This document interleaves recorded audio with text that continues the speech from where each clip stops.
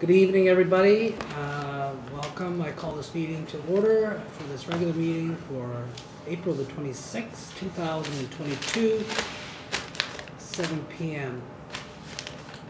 Result of the agenda for the April 26, 2022 regular meeting of council be adopted. Moved by Counselor Friesen, seconded by Counselor uh, Whyte. Discussion, all in favor? It's carried. Three, resolve that the minutes of the April fifth, two thousand and twenty-two regular council meeting be approved. Moved by Deputy Mayor Wintoniw, seconded by Councilor Bobick. All in favor? It's carried. Receptions and delegations, four point one. Result of the uh, council open the public hearing for bylaw 19, 2022, being a bylaw to provide for the expenditure and borrowing of funds for the replacement of pumper one and all required equipment.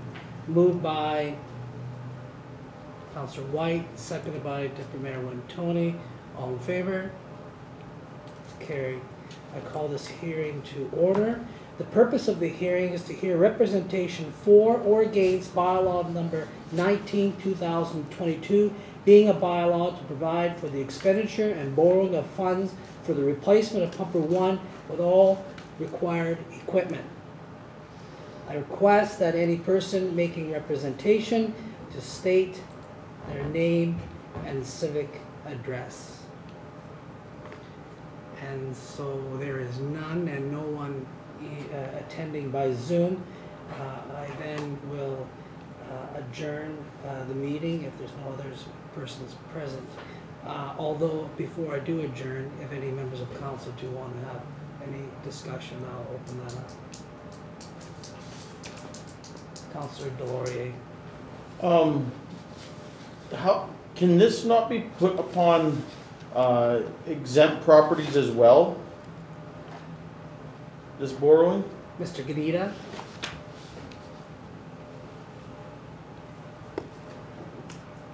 I'm not sure to do that, it would require more work and I'd need to look into it.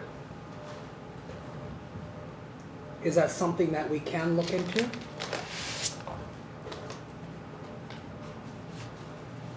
Yeah, I could look into it.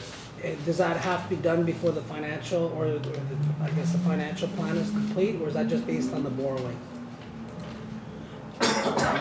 It's not connected with the financial plan at all. Okay.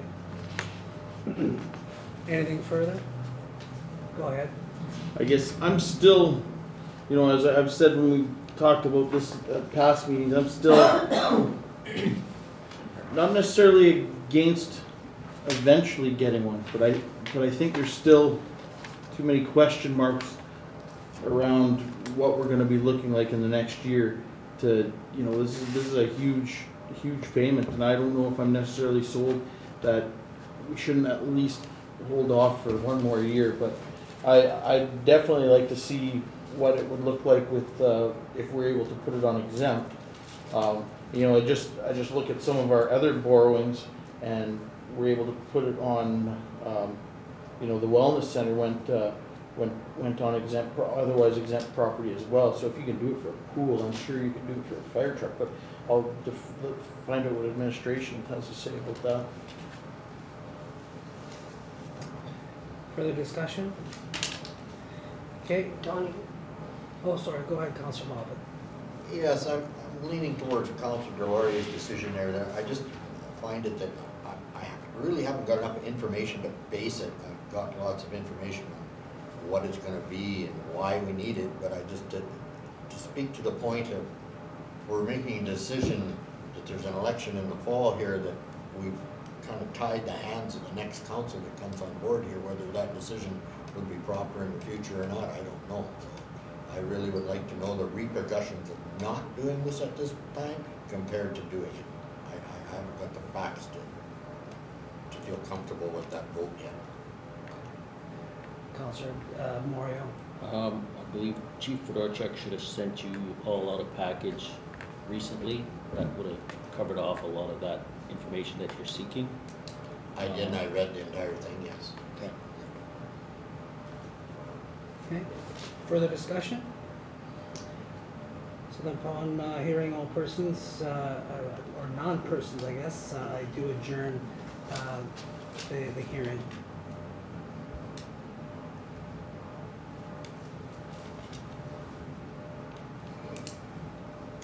Result of the council open the public hearing, bylaw 19, 2022, being a bylaw to provide for the expenditure of borrowing funds for the replacement of pumper one with all required, I'm sorry, I'm, that's, we've already read this one here.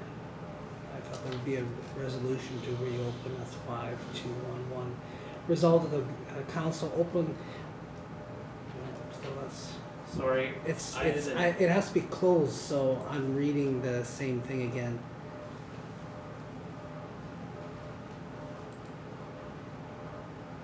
so you go to, uh, five point Yeah, two one two.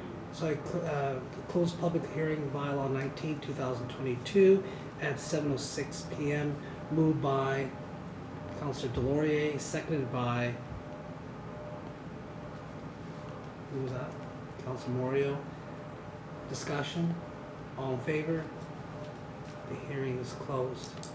Um, Just on the agenda, it was, has it moved around here on me a little bit? Because there's some give me a things s- I'm kind of mixed up because I, in, in uh, I was doing a double scroll and it moved things, so just give me okay, a sec. so, because. I, I see we have communications moved in, in the middle of the delegation, so, Yeah, or the, sorry, or the just- hearing, sorry.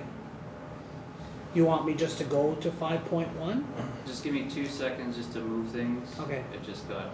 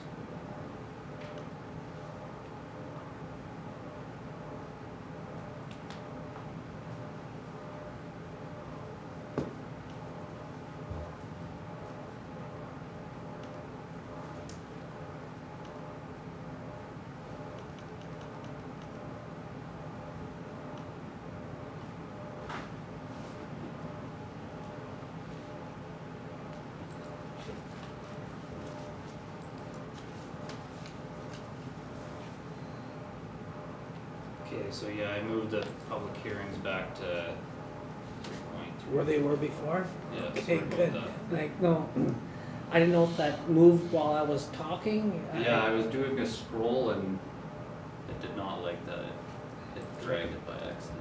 All right, well, we're, we're- we're back in action here, so thank you. Uh, three point three. Result of council open, two thousand twenty-two financial plan public hearing, moved by Couns- or Deputy Mayor Tony, second by Councilor Bobick. All in favor? It's carried. So I call the hearing to order. The purpose of the hearings here represented, uh, representation for or against bylaw number. Sorry. The purpose of the hearings provide an overview of, uh the two thousand and twenty-two financial plan and to allow any interested person to make representation, ask questions, or register an objection regarding the two thousand and twenty-two financial plan. I, I request that any person making representation to the hearing to state their name and civic address. So with that, I will, uh, will move uh, towards the, uh, actual presentation of the uh, budget, and uh, CFO Gnida will be presenting the budget uh, for 2022.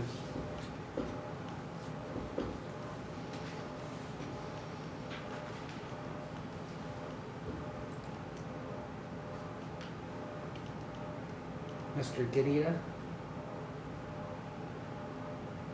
Sorry, I was just moving all the delegations to item four where they were before, not instead of under three, which is confirmation of minutes. Okay, thank you.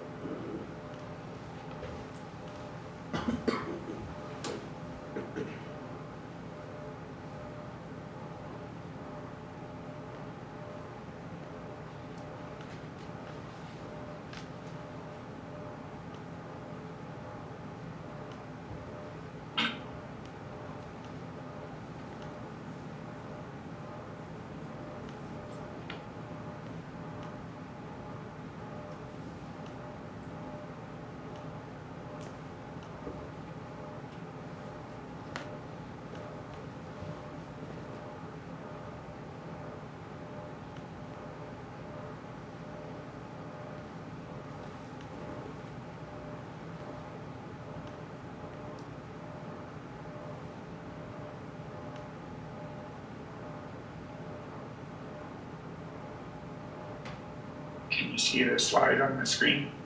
Uh, we just see your files.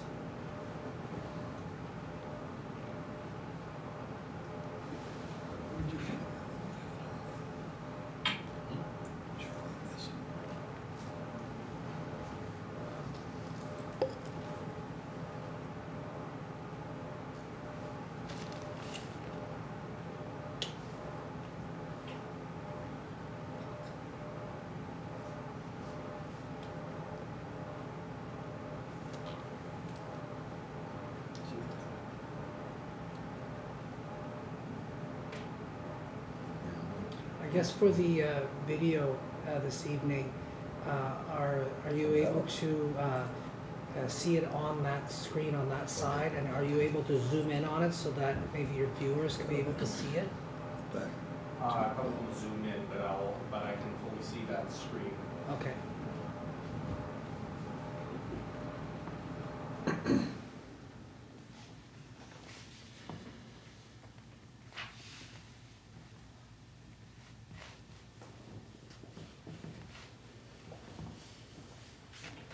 We're having some technical problems. CFO Gnida, Well, I don't understand what kind of files you're seeing, because all I have open is the PowerPoint presentation. No files are open. We don't, we That, uh, don't, Like the Windows viewer was visible, but that's disappeared now. Do you wanna try sharing your screen again?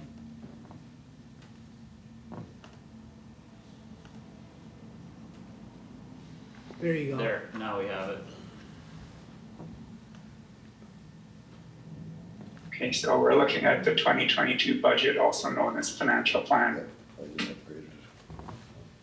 Uh, the, the CAO has the schedule for budgets for the future, where uh, July start drafting, August management completes the draft, October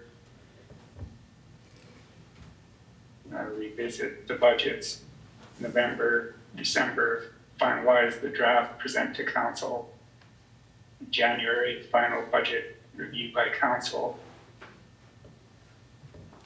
and March to April, the public hearing. And then October, October to March is the design and tender process. And then January through December is monitoring expenses and analyzing budget deviations. Uh, 2022 budget priorities, maintain and review levels of service in comparison to previous years, maintain and create additional self-sustaining infrastructure, ensure available financial resources to participate in future federal, provincial, and municipal programs when available. Uh, 2022 budget, what to anticipate, the municipal property tax rate will be 22.315, and that'll bring in tax revenue of five million, one hundred and sixty-five thousand, nine forty-seven. That's a two point six percent increase from the twenty twenty-one mill rate and a four point seven percent increase in tax revenue. Comparing to the last pre-COVID year, it's a 0.03 percent change from the twenty nineteen mill rate and four point six percent increase from twenty nineteen tax revenue. So the mill rates are on the right side, twenty nineteen was 22.308, 2021 was twenty-one point seven four nine, and twenty twenty-two is planned for twenty-two point three one five.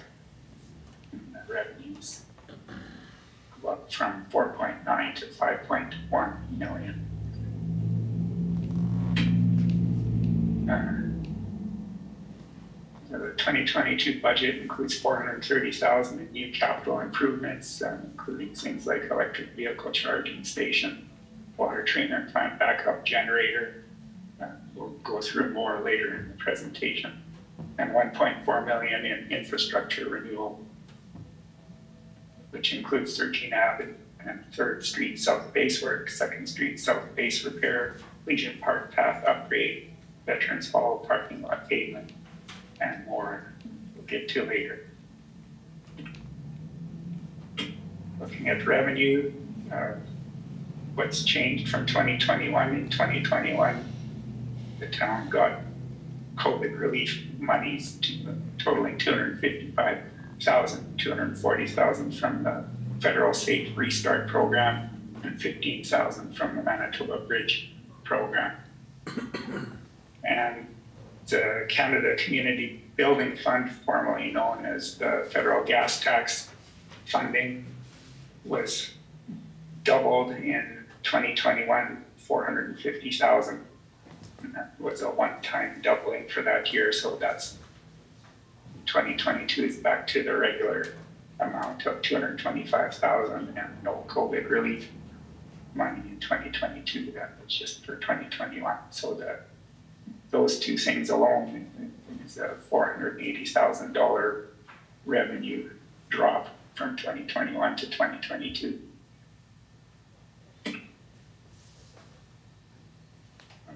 The total budgeted revenue, eight million four hundred, four hundred sixty-seven thousand four oh four. The town fee schedule, what the town charges for various services, the across the board, at approximately a two percent increase on general fees, not including permits applications or cost recovery fees. Uh, Some of the grants uh, include the urban policing grant, four hundred and the community building fund that goes into a reserve. That's a requirement of the fund that it goes into a reserve until it's used. So it's, the revenue coming in is offset by contribution to reserve, two hundred twenty-five thousand. So for total revenue, that's a ten point nine eight percent increase over twenty nineteen and a two point two percent increase over twenty twenty-one. And on the right-hand side, you can see that most of the money the- town has coming in comes from taxes, five point one million, followed by user fees and grants, and for twenty twenty-two, transferring from surplus, uh, there was a surplus in twenty twenty-one that resulted from savings from facilities being closed due to COVID, as well as the two hundred and fifty-five thousand dollars of COVID monies that I mentioned. Uh, property value, the tax relationship, uh, there's property gross value of zero point eight percent increase from twenty twenty-one. The increase in the assessment for the town as a whole went up zero point eight percent. And the property values throughout the town, sixty-five percent are for residential properties, thirty-four point seven percent for commercial properties, and zero point three percent for agricultural and railway properties the residential properties are taxed at forty-five percent of their assessed value. Commercial properties are ta- taxed at sixty-five percent of their assessed value. Uh, Large part of the property tax bill is education tax, but that's completely out of control of municipalities. The municipality has no responsibility in establishing the education levy. The, the municipality is told how much the Public Schools Finance Board and the Swan Valley School Division require, and then that's uh, included in the property tax bills, but it does not go to the municipality, it goes to the Public Schools Finance Board and Swan Valley School Division. And that represents uh, thirty-six percent of all property taxes, so only sixty-four percent of the tax bill is for the municipality. And the province is currently in the process of phasing out the education tax from the property tax collection system. They already started in 2021 where the education tax was reduced by 25% for re- residential properties. All residential properties got a check from the province for 25% of their education taxes and commercial properties got a check from the province for 10% of their education taxes. We haven't heard yet, but the reduction will be for 2022, whether it'll remain at 25% or whether it will increase. We haven't heard that yet. So, but the intention, stated intention of the province is to eliminate the education tax and property taxes entirely at some point.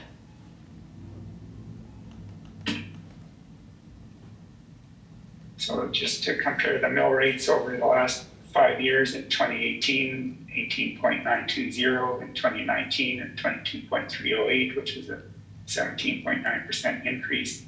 2020, mill rate was 21.278, which was a 4.7% decrease from 2019. It- COVID came upon us, and so the budget was uh, streamlined and trimmed to result in a decrease. Facilities were closed and that, so the costs were down. 2021 mill rate was 21.749, which was a slight increase from 2020 of 2.2%. And 2022 plan is for 22.315, which is a 2.6% increase from 2021. So average over the years is four point five three percent increase yearly.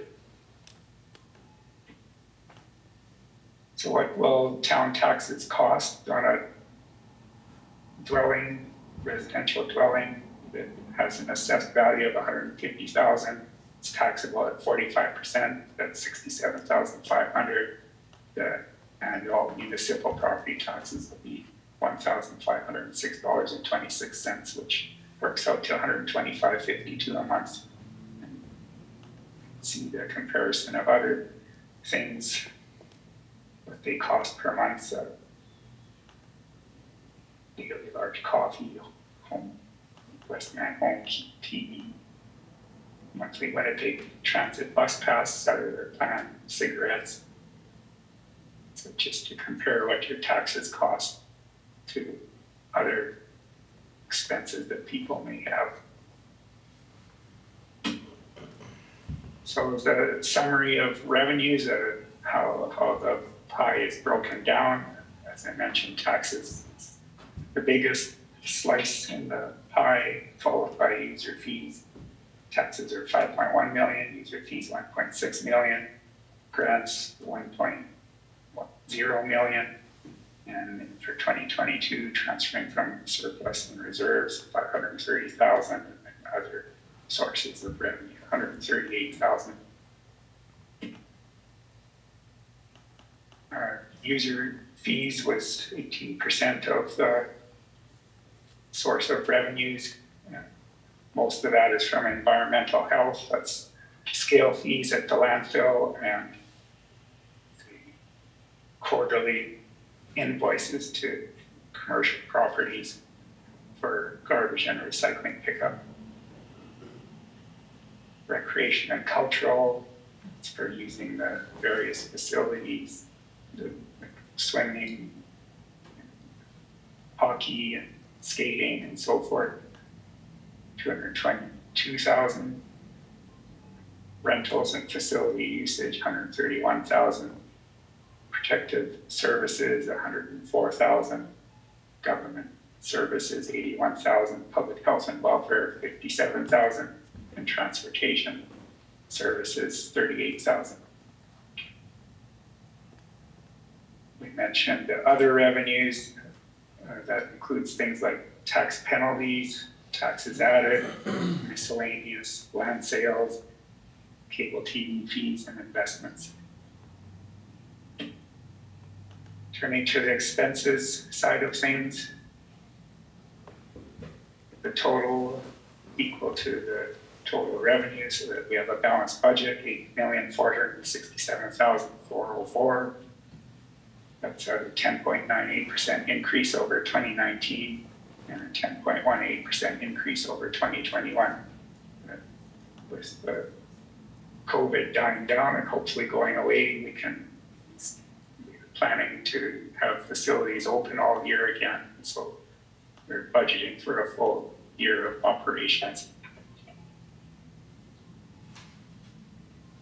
Our regional planning and development, forty thousand, resource conservation and industrial development, eighty-seven thousand, public health and welfare services, hundred ninety-three thousand, general government services, eight hundred twenty-two thousand, uh, transfers to reserves, eight hundred eighty-four thousand, transportation services, nine hundred thirty-seven thousand, fiscal services, nine hundred ninety-two thousand, environmental health services, one million two hundred seventy-two thousand, uh, recreation and cultural services, hundred and forty-seven thousand, and protective services, one million seven hundred sixty-eight thousand. So uh, as you can see, the highest uh, line, oh, sorry, recreation cultural services is some commas missing there. It's one million four hundred and seventy thousand. So protective services is uh, the largest part of the budget.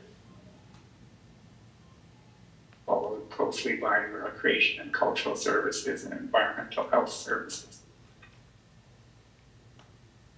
Uh, general government services includes uh, legislative, that's all the costs of council, hundred and thirty-nine thousand. Administration, four hundred and ninety thousand. Office, which is like supplies, utilities, repairs, et cetera, everything to do with the office, hundred and then other legal audit, insurance, etc. fifty-three thousand. That's a nineteen point one two percent increase over 2019, 10.64 percent increase over twenty twenty-one. Protective services, total budget, one million seven hundred and sixty-eight thousand two sixteen. That includes uh, fire service, three hundred seventeen thousand, RCMP, which is the largest portion of that, one million three hundred and twenty-one thousand. And then other bylaw enforcement, animal control, building inspector, workplace safety, et cetera, hundred and thirty thousand. It's a twelve point one eight percent increase over twenty nineteen and a four point six four percent decrease for twenty twenty-one.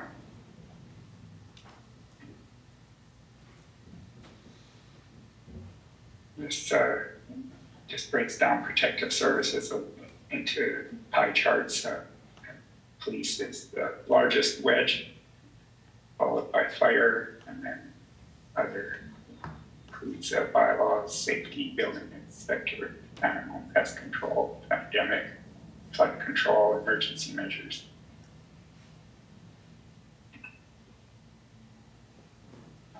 RCMP being the largest portion of protective services is fifteen point six percent of the town's total municipal expenditures. That's a fifteen percent increase over twenty nineteen and an eight point seven percent increase over twenty twenty-one and as the line shows on the chart that's ever climbing. Transportation services includes things like road maintenance, just under 100,000, road reconstruction, 60,000, traffic services, 31,000, snow and ice removal, 153,000, street lighting, 76,000, storm sewers, 22,000, total budget for transportation services, 937,000. That's a four point nine percent increase over twenty nineteen and a twelve point five percent increase over twenty twenty-one. Environmental health services, waste collection, three hundred and ninety-one thousand, landfill, three hundred and recycling, which includes collection and processing, five hundred and fourteen thousand. Total budget for environmental health, one million two hundred and seventy-two thousand, that's a five point seven percent increase over twenty nineteen, and an eight point six percent increase over twenty twenty-one. Public health and welfare includes cemetery, eighty-two thousand, doctor recruitment, sixty-four thousand, social assistance, forty-three thousand seven hundred and fifty. Total budget for public health welfare is hundred and ninety-three thousand, and that's a twenty-five point seven percent increase over twenty nineteen, and sixteen point seven seven percent increase over twenty twenty-one. Regional planning and development, total budget is forty thousand six hundred, and that includes planning and zoning, seventy-seven hundred, beautification and land rehabilitation, four thousand and fifty, urban area weed, weed control, thirteen thousand one hundred and fifty, Christmas lights, decorations, flags, 9,800 communities in bloom, 5,900.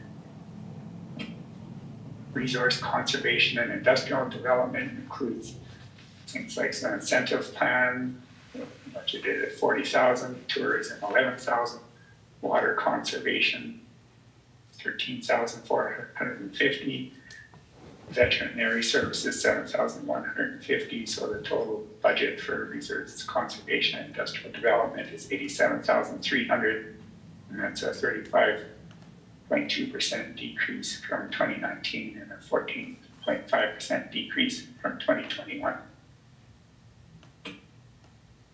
Recreation and cultural services includes uh, the outdoor rinks and the Centennial Arena, four hundred and forty-two thousand, aquatic center, six hundred and thirty-four thousand, community hall, hundred and twenty-five thousand, and parks and playgrounds, hundred and eight thousand.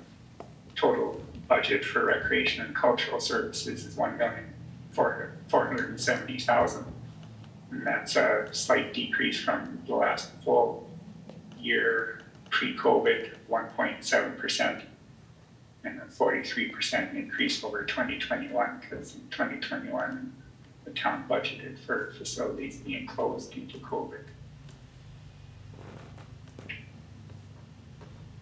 So it's just showing the timeline over the last six years. You can see that in twenty seventeen, uh, skating rinks and arena, actual cost was four hundred and six thousand in 2017, 435,000 in 2018, 437,000 2019, and then drop in twenty twenty due to the start of COVID, three hundred and seventy-seven thousand. Twenty twenty-one, three hundred and forty-eight thousand, in twenty twenty-two, we're budgeting for full operations, 442,000. So you kind of trend for the aquatic center in 2017, the total cost was 747,000. In 2018, 773,000. 2019, 684,000. 2020, 338,000. 2021, 339,000, and then 2022, budgeting for a full year, 634,000. Community centers and halls, 2017, 97,000, 2018, 108,000, 2019, 112. And then 2020, there were some renovations that were done, so the expenses brought 178,000 in 2021 down to just under 90,000 in 2022, budgeting for 125,000. Parks and playgrounds, some kind of trend is the rink and uh, aquatic center. 2017 was 116,000, 2018 117,000, 2019 134,000, 2020 down to 85,000 to COVID, likewise 2021, 84,000 2022, but budgeting for full operations, 108,000. Fiscal services uh, includes uh, debenture debt payments, 667,000, and capital programs, 283,000. Most of that, will, in fact, all of it will be covered by transfers from surplus. Total budget, nine hundred and forty-nine thousand, seven fifty-six. So that's a seventy-two percent increase over twenty nineteen and a twenty-two percent increase over twenty twenty-one. Uh, utility services, there's one thousand six hundred and twenty-five service connections in the town. Two hundred and eighteen hydrants. No rate increase for twenty twenty-two, but the rate study will be done for future years. water expense, service expense, five hundred forty-eight thousand, sewer service expense, two hundred twenty-five thousand. Other expenses in the utility, which includes uh, debt payments and transfers to reserve, four hundred eighty-seven thousand, so the total revenue and total expenses for utility is budgeted at one million, three hundred forty-five thousand.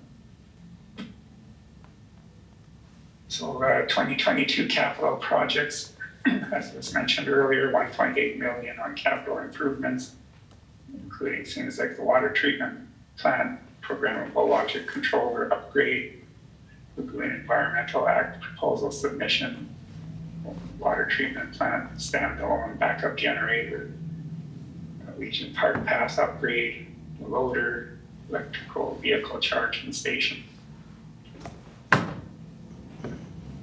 specific items in the capital program, when the fire department is uh, turnout gear, twenty-six thousand.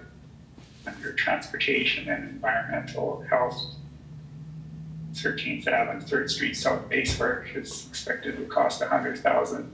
Second Street South base repair and asphalt, seventy thousand. Eight hundred and nine hundred blocks, Second Street North Millen fill, hundred and thirty thousand.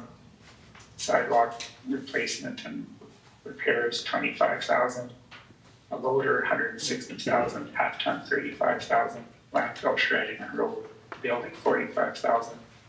And these are all coming out of reserves, except the turnout gear is coming from surplus, but everything under transportation and environmental health is coming from reserves, either the Canada Community Building Fund for the roads and sidewalks or the replacement reserve for the machinery. Under utility, water plant backup generator station is expected to cost three hundred and fifty thousand. We're expecting half of that to be funded by the Manitoba Water Services Board, so the other half, hundred and seventy-five thousand will come from the utility reserve. Same thing with the water treatment plant PLC upgrade, expecting uh, Manitoba Water Services Board funding for half of that and the other half from utility reserve. And likewise with those with the Environmental Act proposal submission, expecting funding for half of that, uh, grant for half of that, the other sixty thousand from reserve. Recreation tractor cab with a mower and blade, fifty thousand. Legion Park Path, eighty-five thousand. And, a couple other things, repaving the hall parking lot, twenty-five thousand, electrical vehicle charging station, eighty thousand. Those are all coming from surplus. Uh, twenty twenty-two budget includes no new debt obligations, so all the debt obligations that we have are from past years' projects. And the debenture payments are all listed there, twelfth and third F South paving curb and gutter, fifty-eight hundred, incident command vehicle, ninety-nine hundred, firefighting equipment, sixteen thousand nine ninety-seven, loader backhoe, twenty thousand seven sixteen, Sixth Avenue lift station upgrade, twenty-nine five ninety-two, Hayes station upgrade, thirty-two thousand, Ross lift station upgrade, sixty-five thousand, Marina temporary ice nine thousand, Wellness Center building repair, sixty-seven thousand, well control building, sixty-seven thousand, Main Street water and sewer renewal, seventy-one thousand, administration office, hundred and thirteen thousand, and wellness center construction, three hundred and sixty-eight thousand. And you can see the, the terms there, most of them, uh, end uh, somewhere around 2032, 2033, 2035.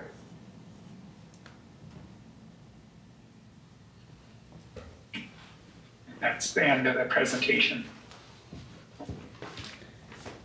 All right, thank you, Mr. Gnida. Uh, is there any further discussion or questions that, uh, council wants to discuss or ask? We've gone through this obviously for the last few months, so pretty much know the, the, the whole thing with the, with the budget. Um, Councilor Dwyer, Uh, just a comment to Mr. Gnida and the rest of, uh, administration staff that worked on the budget with him. Um, job well done and thank you very much. I know it's, a lot of work goes into this. It's, uh, one of the bigger things that, uh, that council come, gets to see every year. And, uh, thank you very much. Good. I have a few uh, questions and observations here from my brief skimming of this. Um, under- There's a, seems to be a new line item, town promotion, under uh,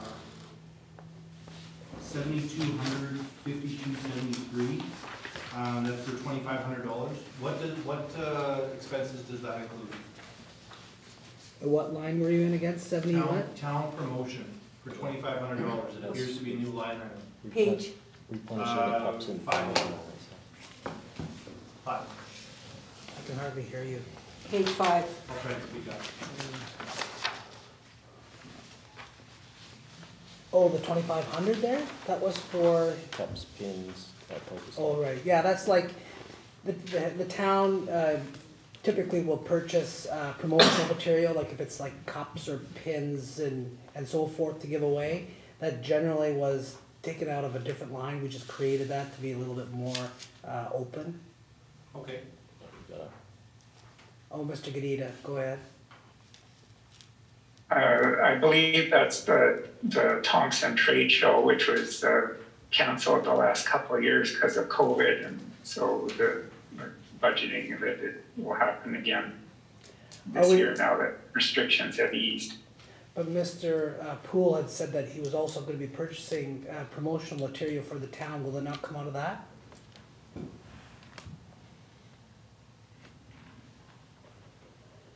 Some of it can, yeah. Lost him. What's that?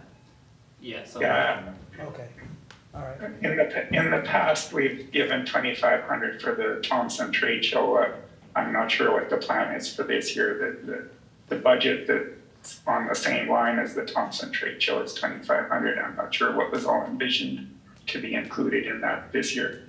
Okay. What was your next question? Um, I apologize if Mr. Gnida actually mentioned it, but I, the hall parking lot repaving, is that, is that this building or is that the Veterans Hall? Veterans Hall. Okay? Uh, Pool construction issues lawsuit, how, how come that falls under capital expenditures? Uh, I'll let Mr. Gnida answer that. It, it's in connection with the construction issues and so it was budgeted under the capital because it relates to issues with the construction of the wellness center, which was a capital project. Okay. Um, The, the EV charging station was mentioned in the presentation, but it's not appearing in the paper copy. Was that just something that didn't make it to the paper copy? I believe it's in there because it's, it is a community-driven project, so it's kind of like an in and out, but it, I believe it is in there, cause I, it may be added in one line, Mr. Gnida? Uh, the expectation is that, that it will not cost the town any money, the, it'll be fully funded by, uh, grants and, and donations from government organizations and from community organizations, and so, uh, it, it's not on the official financial plan template, because it, it's, uh, the expectation is that the grant money will completely offset the cost, but it is a project that the town is doing, just it won't cost the taxpayers anything. Okay. Um, And I know you, you're, you're making a new reserve for crime prevention, I see, uh, later on today. Is there going to be a transfer to that reserve at all this year in this budget? Uh, yes.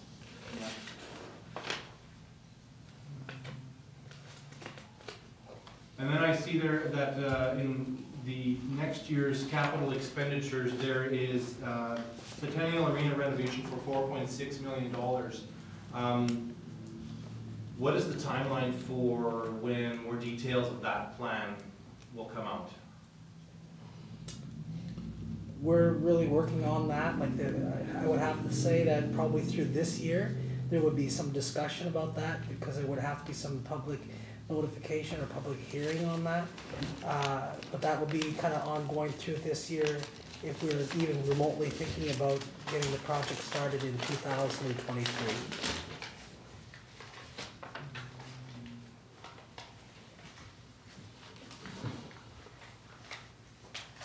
That's all I have. All right, good question. Uh, Counselor Bobick. So, uh, thank you, Mr. McGee, it was very, uh, in-depth. Uh, just to put it in layman terms for myself, is so what can I expect my taxes to go up, what percentages? With all the service fees and the mill rates going up, what would I expect for my taxes to go up, percentage-wise? Four percent. That was in the uh, presentation, it was round four, Four percent? yeah. That's everything included in that budget. Okay, Yeah, and, and that might differ from, from different property to property. Average is gonna be about four percent, but, uh, some may have, uh, their, their uh, assessment may have changed a a little bit more, such as mine as an example, where I'll see much more than a four percent increase. thank you. Anything further? Go ahead. Uh, Mr. Gnida, if you can just help me find, um, in the revenue section, what are we, what is the town collecting for, um, uh, business tax revenue?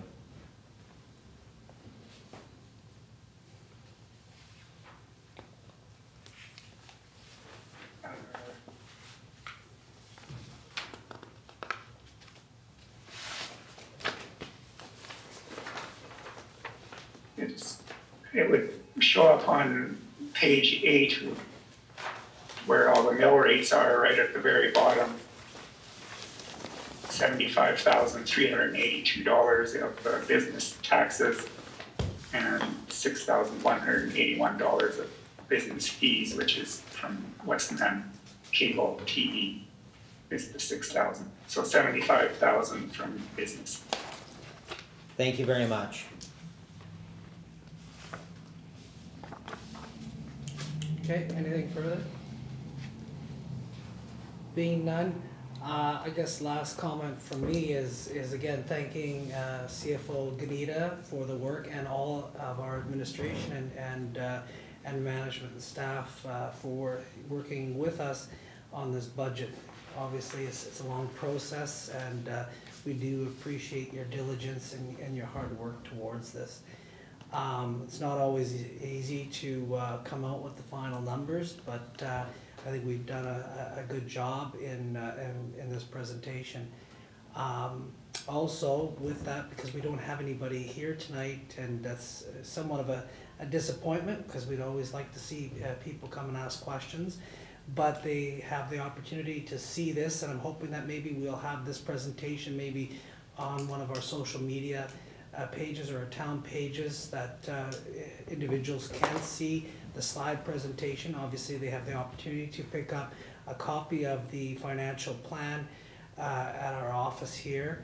Uh, but maybe it could also be posted on the, the draft copy anyways, be dra- uh, uh, sorry, um, put on our website. website.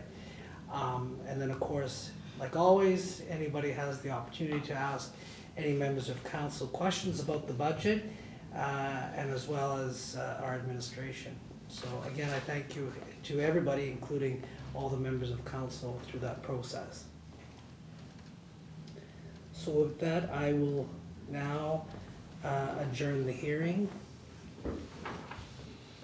Three point four, I close the public hearing for the two thousand twenty-two financial plan at seven fifty-one PM. Moved by Councilor Whyte, seconded by Deputy Mayor Wintoniw. All in favor? Carried.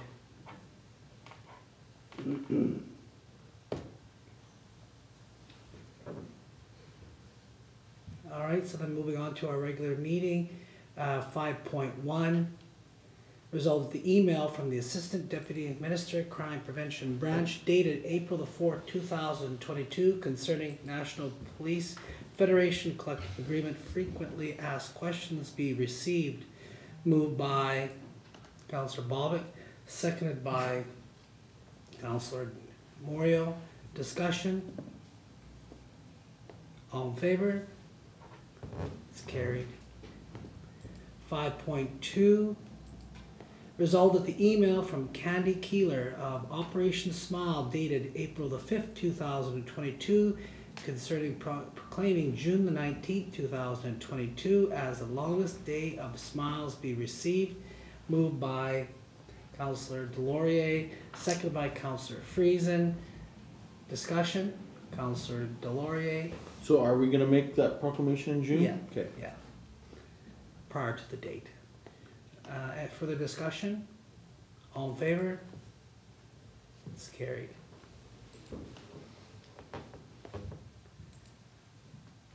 Five point three, result of the letter from the Royal Canadian Mounted Police dated April fourteenth, two thousand twenty-two regarding RCMP regular member in-year pay raise amount for the 2021-22 quarter four MPSA invoice be received. Moved by uh, Deputy Mayor Wintoniw, seconded by Council Moriaux. Discussion? Councilor Bobick.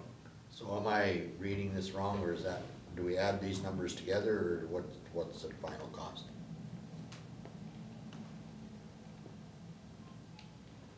Mr. Gnida? Or maybe it is here. I think that, that is our share. Uh, this, this letter is basically just saying, how do we wanna pay the retroactive, do we wanna pay it all at once or keep going quarterly? And so I, I don't see any reason to pay it ahead of time, so we just left it at quarterly. Okay, So total cost?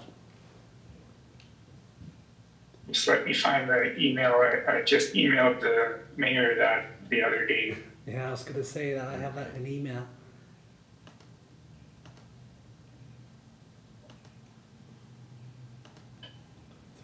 Thirty-one thousand times four. To forty thousand. Well, the, the thirty-one thousand times four is, is The just the increase for, for this current year. Um, The retro pay is three hundred and forty thousand. Okay, thank you.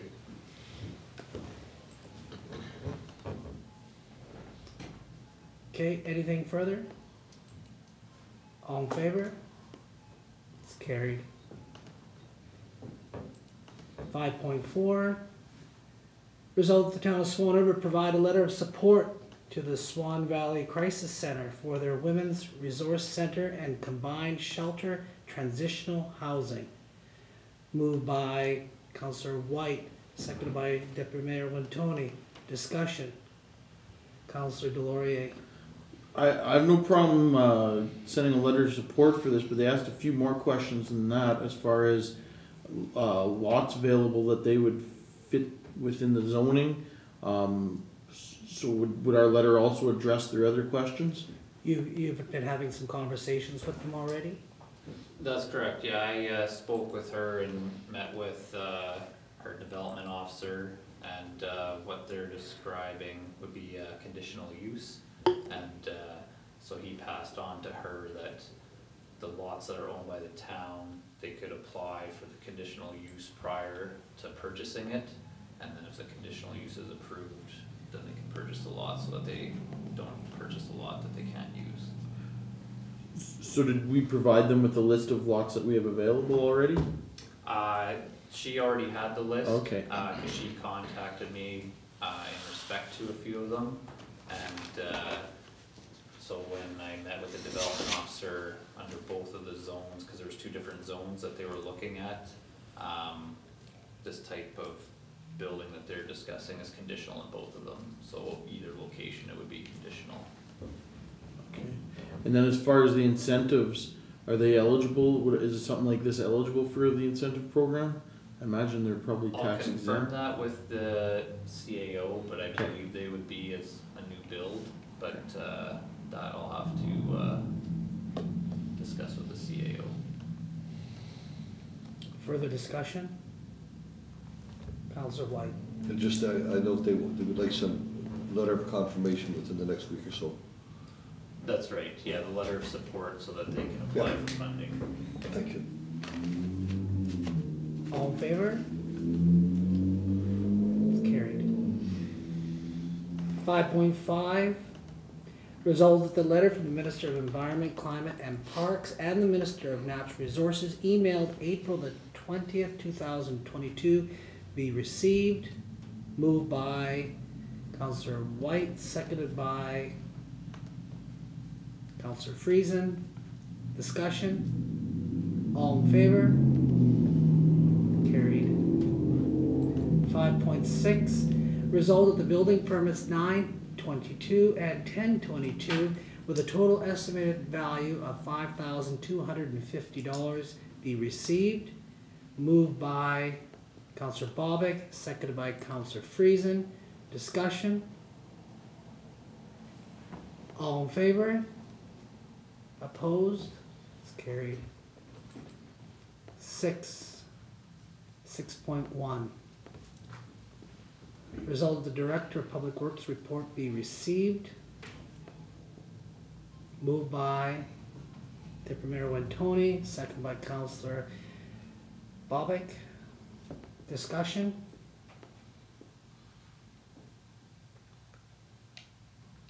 All in favor? It's carried. Quiet bunch tonight. Six point two, result of the March two thousand and twenty-two Swan River Handy Transit Van Report be received. Moved by Moriaux, second by Counselor Delaurier. Discussion, Counselor Moriaux.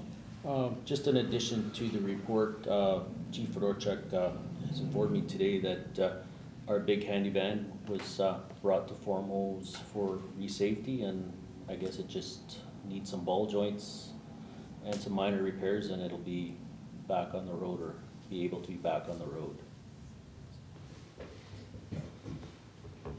So, I don't know what transpired before, but it appears that it can be safetied. We can discuss it in camera. Yeah, I was gonna say that can be discussed in camera. Okay, further discussion? All in favor? It's carried. All right, six point three, council and CO reports. I'll start tonight with Councilor Bobick.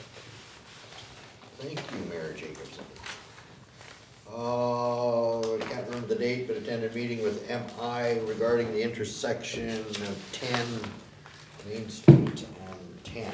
Uh, Discussion went on about what was proposed right now. Uh, some of the things were brought forward, I brought forward, there's a drainage issue when you heading north, turning east onto ten, there's always been a drainage issue, I'll use Manitoba Hydro.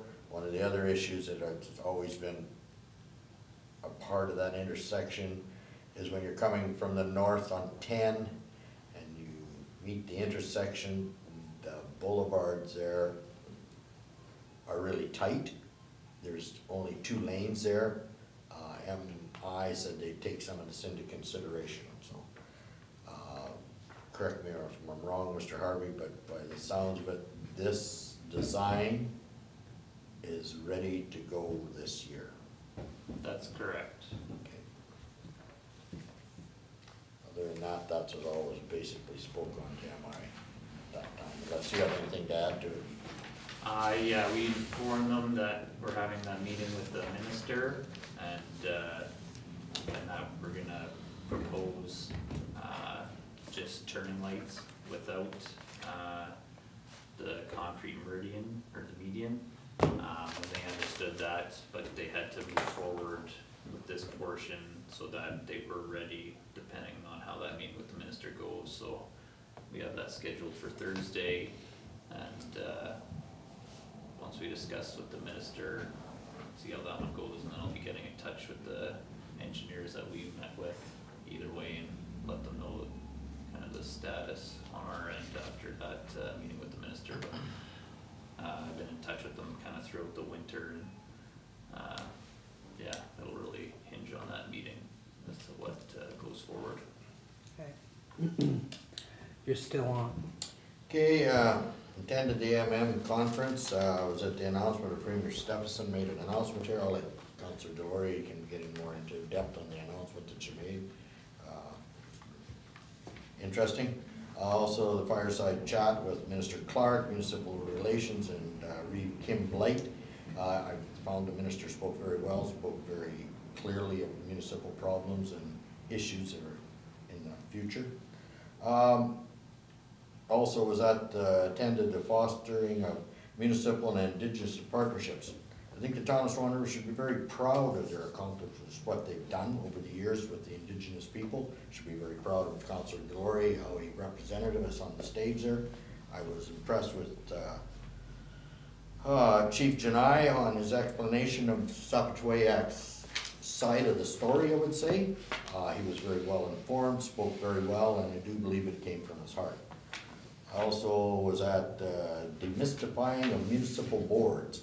The planning amendment bill thirty-eight was nine years behind, so they've caught up, correct me if I'm wrong, I think they're back to about a year and a half now.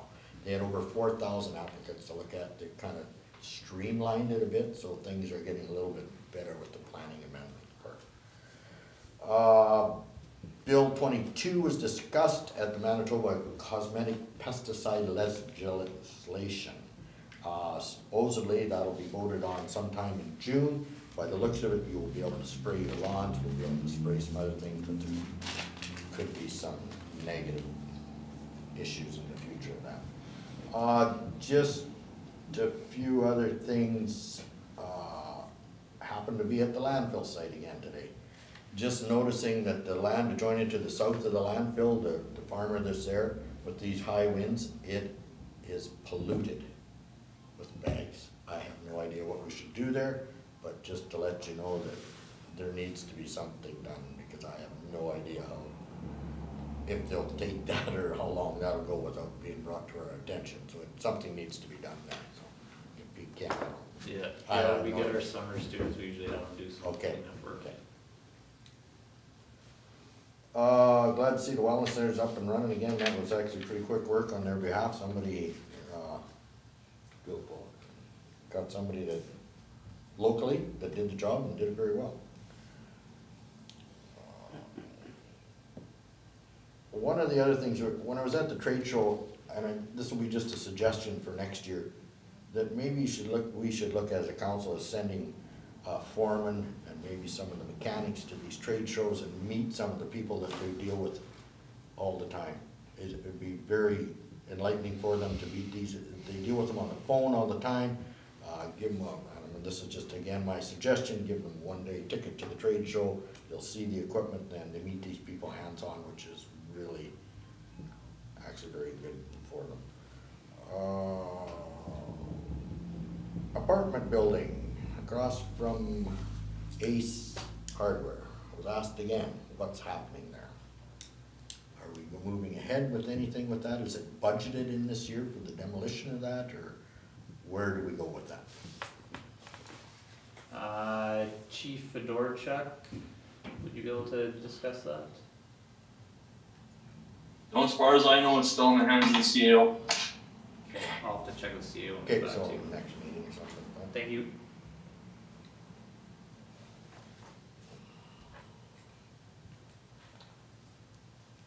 Uh, if we could, a little later, uh, we're going into it in camera, okay, uh, just some employee matters to discuss. Just a friendly reminder that there was a challenge set out for a hundred dollars for COPP. Now, I hate to keep bringing it up, and I'm not looking at you just directly, Council Whyte, you seem to be staring at me, so I'll just bring that to your attention again, and, you know, I mean, we thought you had a hundred dollars and you spend it at AMM, and you, just- once you get a fresh one, we'll, uh, bring it to the forefront, so. Thank you. Thank, thank, thank you, Councilor Bobick. Counselor, uh, Whyte, you prepared for that? I wasn't prepared for that, but it's, it's a wonderful cause, I won't deny that. Uh, April sixth, we had the, uh, the fire chiefs meeting, we're talking with the G four, it was nice to see all the fire departments and the government guys together and trying to plan to work together, which is always a reasonable goal, I want to thank uh, Chief Fedorchuk for making that happen. On April the eighth, I had my last PMH meeting, uh, originally you were appointed to the PMH board for three years.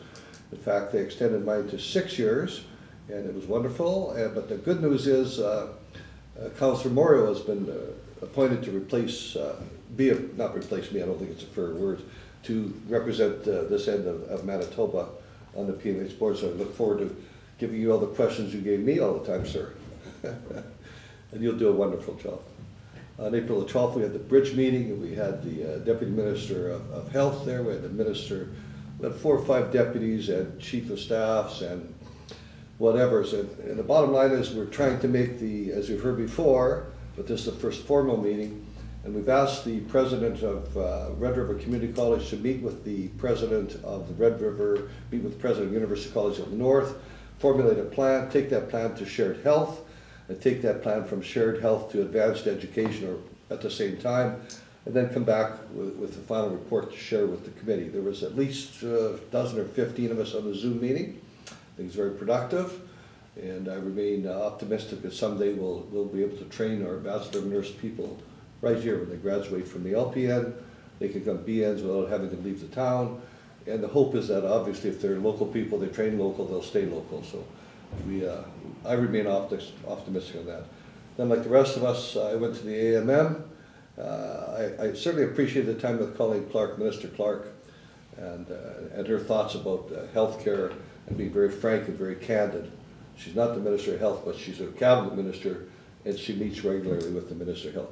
And we also talked very briefly to Doyle Piwniuk, who'll be coming up this Thursday, Friday, Thursday. Thursday to talk with us about the highway. So making those connections, making those networks, face to face, sitting over a cup of tea or whatever is important. Talked we went to uh, outreach on council decorum.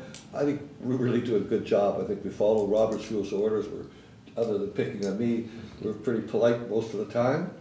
And then with fostering uh, municipal relationships, and I really want to give a bouquet out to uh, Councillor Delaurier. He and uh, Chief Genaille and two others talked about the advantages of the uh, TLEs in our communities, not just from an economic perspective, but from a cultural perspective, and two societies, two governments working together. And uh, I came away with a good feeling, and uh, lots of questions came up to Councillor Moriaux, Councillor Delaurier rather, and Chief Genaille. He has a, a very humorous side, well, both men do. Then we went through advanced accessibility and talking about grants and support for age-friendly things. One in four people have disabilities. And uh, so that's 20, 25% of our population that might need some help relative to ramps, relative to lighting, whatever it might be. Then COVID conversations, the strategies to how not, how not get in a fight, they didn't say that. Hey, people will drink differently, but our COVID perspectives, of course they will. But it's really important to respect that do think differently and try to find a mutual way to solve those issues without uh, going to war.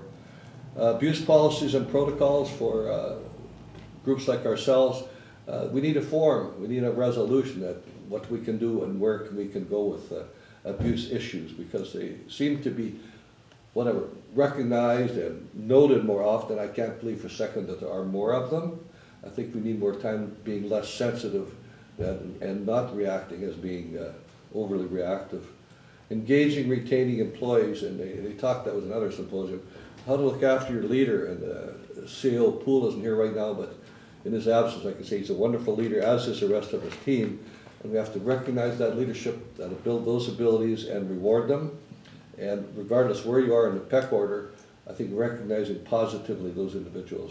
Then we went to one with the Manitoba Ombudsman, and the process to follow if you have concerns, if they're not concerned, and where to go with them. So, pretty busy time, absolutely. On the 21st, I had a nurse meeting. One of the senior nurses was here, and uh, PMH board member uh, Moriaux and I met with them. And the, the issue of agency nurses came up.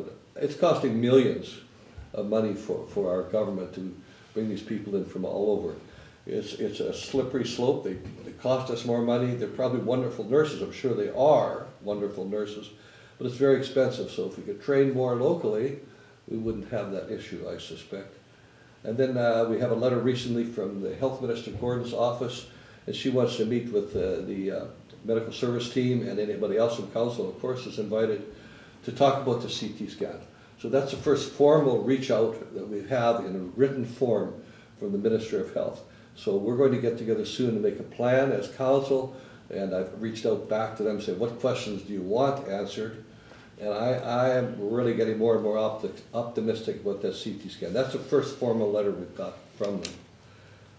With the paid commercials, uh, the 29th, which is very soon, the, Hero Club is having a fundraiser, 11 to 2 p.m. at Extra Foods. The money goes to a wonderful cause, so I think that's Saturday, the 29th. Who cares? 29th at Extra Foods. And the 30th, uh, what a compliment to the Bowsman Lions Club. They're having a Ukrainian fundraising dinner from 4 to 7. You can buy tickets at Work World, Quick Stop. And uh, I suspect our, uh, soon we're having a G4, and one of the agendas on the G4 is how to reach out to help our Ukrainian friends. Swan Valley Sport Fish Dinner, May the 7th. And uh, that's about it for now. Thank you, sir. Yep. Cook and cook What about them? tickets Tickets are at Cook and Cook for, for the Ukrainian supper. for the Ukrainian supper and Work World and Quick Stop. And they have to be in advance, thank you. They have to be an advance ticket because they're hoping to have 600 people too. It's the week before our fish dinner and I, I'm okay. I'm really okay with that because the Ukrainian community needs that money a lot more than the fish do. But we'll sell our fish tickets, don't you worry. Thank you. Thank you, Councillor Whyte. Councillor Delaurier? Hey, um, as was mentioned, I attended the, uh, the fire, fire meeting, I guess you could call it on, on April sixth. And I think it was really good for all of us that attended and, and all of our, our municipal neighbors that attended because they, they really outlined what things like mutual aid is and what it is not and what, what a purchase service is and what it is not. And, and so I think that was good for all of us to hear. I know uh, about a year back, uh, Chief Fedorchuk had provided us with some documents that outlined that, but I think it was good for the, for the, for the, uh, broader, uh, valley to, valley leadership to hear, hear what, uh, what those things were. And it kind of spurs me on that I think maybe we need to look at our mutual aid agreement and make sure that some of those things are maybe more well-defined within the agreement itself. Um, so I don't know what that process looks like, but I think that's something maybe we need to look at. Um, is our mutual aid agreement, the, the agreement that forms the district and, and, you know, maybe outline some definitions in there of, of what, what a response is, what, what mutual aid is, because I think it's, uh, I think it will pay dividends in the future. Um, attended the AMM, uh, in, in Brandon, uh, attended the seminar on Bill thirty-seven, which was, I think it was kind of, uh, to soften the blow, cause I think there, there was a lot of, uh, a lot of unhappy municipalities regarding Bill thirty-seven. It took, took away a lot of power that municipalities have to stop or, or, uh, or, uh, delay or, or put conditions on development, and now it basically falls in the hands of the municipal board. Um, it really, we can say no, but we can be overturned quite easily now. Um, so I'm not, I'm not sure I'm any bigger of a fan of Bill thirty-seven, and I know the province's, uh, position on it is that it'll allow development to happen in Manitoba quicker, but, um, I think that's all well and good until some sort of development is in your backyard that, as a community, you don't want.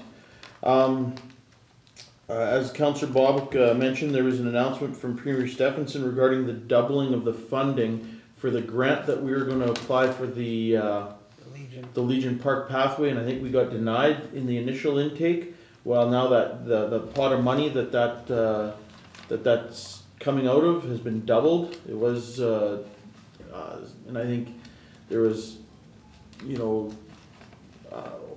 it could have been probably doubled again to, to fulfill every application, they said. So I don't think it's a slam dunk that we'll get it the second time, but I think we should definitely look into it. Um, uh, also as mentioned, I had an opportunity to present on our, on our urban reserves here in town, our TLE, uh, uh, how the negotiation went and how our relationship has gone, and I, I I also want to say, uh, once Chief Genaille is done, uh, being a chief, he'll definitely have a, have a, have a role in, co- or he'll have an opportunity in comedy, he's got perfect timing, and he's such a good speaker.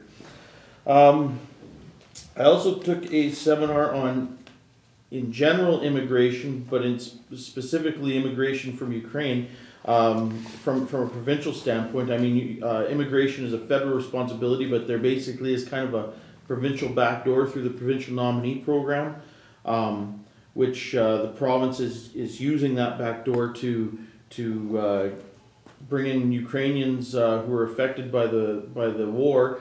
Um, the refugees, I guess, with a small R. You're not allowed to call them refugees with a big R for for a myriad of uh, of international political reasons. Uh, once they're an actual refugee, they fall under uh, uh, some UN conventions where the first country they get to that welcomes them is where they have to go. So not calling them refugees allows them to basically hop countries and eventually get to Canada. Um, as far as uh, you know, it was interesting. The, the gentleman, it was the assistant deputy minister of, of immigration from Manitoba who put it on. It was interesting that says that there's a lot approved already to immigrate to Canada, but they're just kind of in a holding pattern in Warsaw. Most of them are in Warsaw, Poland, and they're they're sitting there waiting because their their loved ones, their husbands, their fathers can't leave the country yet, so they don't necessarily want to go too far. And not only that, you know, their home, their lives, the everything they've built up to this point is in Ukraine. If the war ends, you know, you, they may have a home to go back to, or they may not. So they're kind of a lot of them. They say have all that all it would take was to get on a plane and come to Canada. All their all their paperwork is done, but they're just kind of in a holding pattern, waiting for, for those two reasons to you know they don't necessarily want they weren't looking at immigrating out of Ukraine before this, so their their home is Ukraine, and plus their their loved ones aren't able to leave, so they don't necessarily want to leave be too far. You know, it, it kind of things you don't really think about. You think, well, there's a war going on, don't come to Canada, especially. So it was, it was really interesting, uh, really interesting uh, seminar, anyways. Um, other than that, that's uh, that's pretty much it for me. Thank you, Counselor. Uh, Deputy Mayor Tony. Thank you, Your Worship. Um, I've got a couple notes for this. First of all, um, I attended the April sixth Fire Services meeting along with most counselors. Um, and it definitely gave, uh, myself and I'm assuming everybody else in the room a, a, a whole new perspective on, uh, as Counselor Delaurier indicated, on mutual aid and, uh, um, fire protection. So, Again, I think that, uh, as Counselor Delaurier mentioned, we need to review our agreements. Um, and I think that we are probably not going to get away from service agreements, so we need to continue to, to, uh, um, work with our neighbors and develop and, and develop those agreements for the betterment of the community. I had the opportunity to travel to Dauphin on Monday, and I just want to extend uh, um, a heartfelt uh, um, a heartfelt uh, comment, I guess, to that community after the storm that they did have. I did travel through. I did see hydro poles snapped like uh, matchsticks and uh, hydro lines that you couldn't put your hand around because they were solid ice. Um, and as well, once those hydro lines did fall, they did freeze to the ground. It was a whole myriad of uh, conditions to get power up and running to that uh, that community. So my sympathy out to that community who did lose power, and my grateful, heartfelt thanks to Manitoba Hydro to continue and work extremely hard throughout the conditions there um, in the city of Dauphin. Um, I just want to talk quickly about a mental health uh, first aid workshop that I'm currently attending, and I do uh, think that that would be a good opportunity for um, whether this whether for council or for um, team leaders in our organization. Um, it's a great training program, um, offers some really good insights onto um, the mental health of our employees, our team members, our friends, um, the people that we work with every day. So uh, something that was offered by CMHA um, and a great, great presenter and great speaker today. So if there's ever an opportunity, I suggest that we uh, partake in that. Uh, thank you for all all of those counselors who did attend AMM. Unfortunately, I was unavailable for that um, those meetings um, in Brandon. So thank you for all of you for representing the town of Swan River. Just want to uh, have a quick shout out to Chief Fedorchuk. He did host uh, the Swan Valley Co-op joint health and safety team meeting at the fire hall, gave a little tour, showed the equipment, talked about uh, the health and safety of the fire department and uh, the efforts of the town of Swan River. So thank you, Chief Fedorchuk, for an amazing presentation and the uh, wealth of knowledge that my our team uh, received. Um, quickly about the COPP program. Thank you very much, uh, Your Worship, on your contribution um, um, to the challenge that Councillor Bobick did hold. So thank you to, to, to you and your family um, as well. And for those of you who didn't know or didn't hear last time, um, His Worship, um, His Worship's family contributed uh, um, along with his contribution. So thank you very much for that. The COPP team uh, really appreciates that. Again, I just want to state that there are 22 members. We have about uh, another 10 now waiting for training. The second week of training is coming up, uh, hopefully for the second week in May.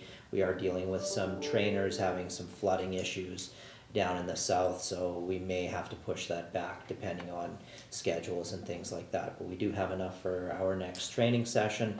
As always, if there is anyone interested in the COPP program, please reach out. Uh, we'd be happy to join, have you join our team. Um, uh, in regards to the business consortium and the task force, have been extremely busy uh, addressing those issues and uh, alignment within the community as well as the business association.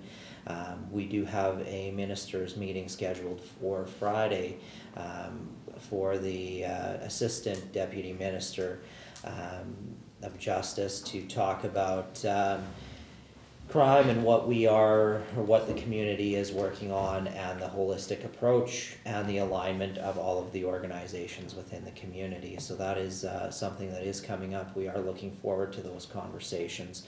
Um, I think that is everything on my list. Thank you, Your Worship. Okay, perfect, thank you. Just a query, A query? question. Okay. Uh, Thank you for the report.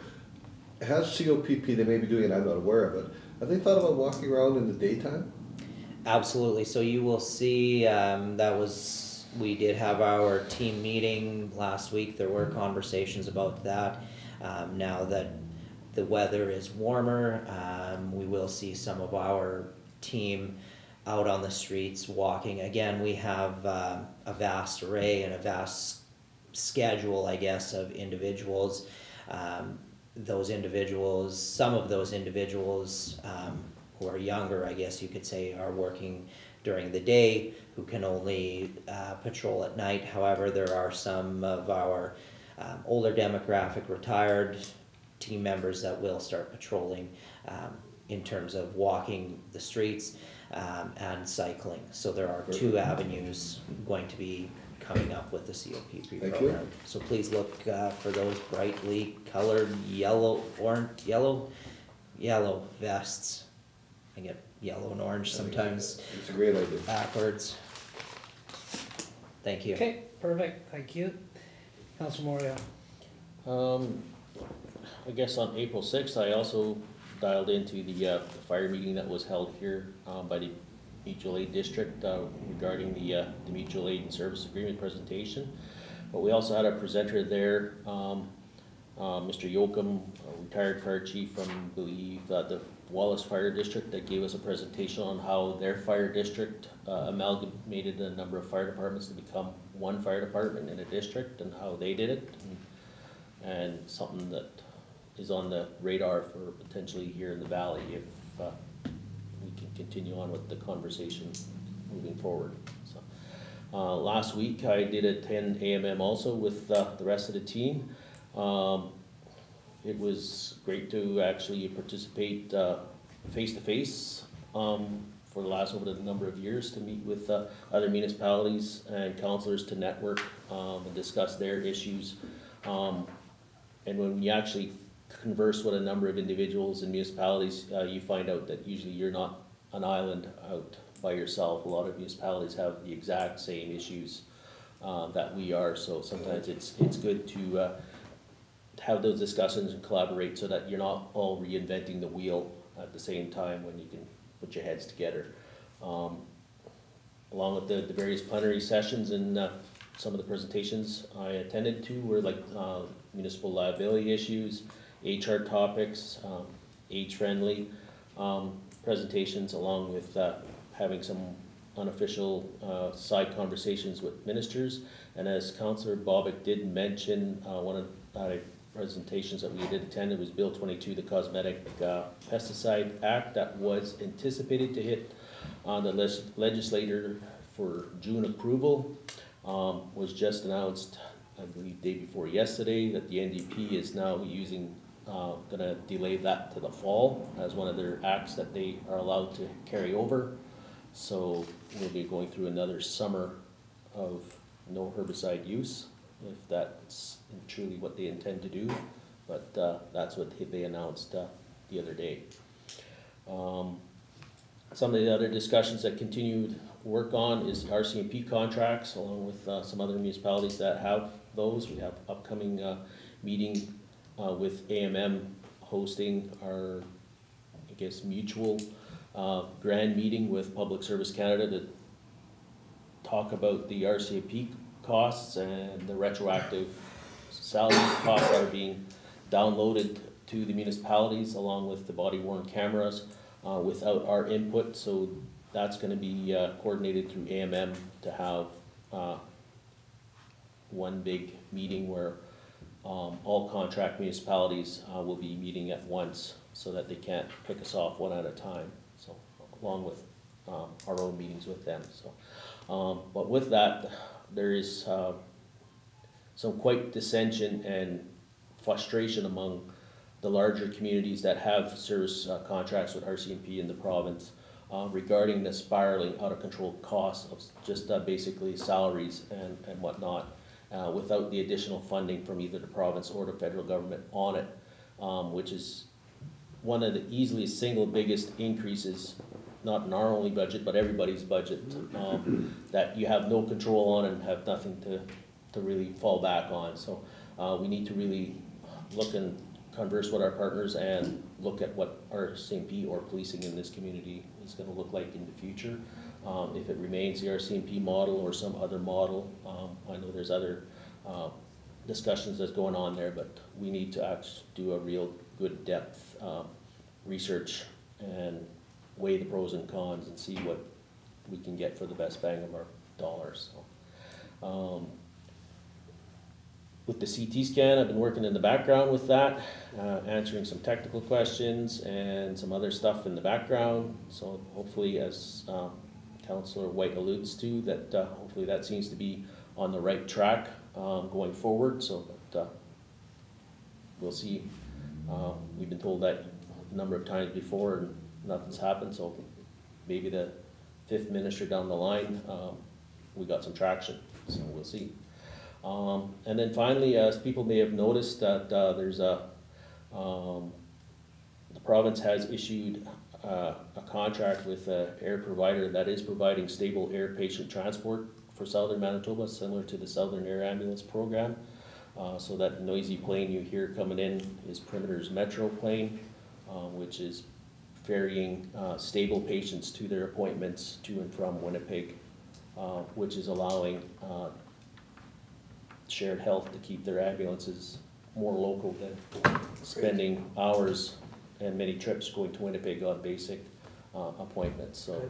Um, it's, it's very similar program to what was initially when the province had it with the, uh, the Twin Otter, but, uh, now that the province doesn't have those aircraft and doesn't have that department in their, um, little toolbox, um, I'm told that, uh, a contract has been let out and Perimeter's been successful in, uh, obtaining that for, uh, transporting patients in southern Manitoba, which is causing challenges in northern Manitoba, because the workload has increased, but, uh, no additional resources to the whole pie, so.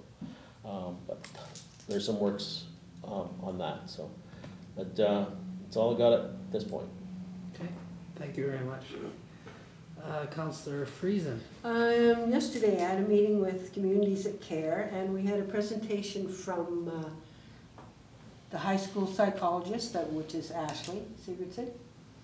And they're introducing something called Sources of Strength Program. Um, Strength-based upstream suicide prevention program.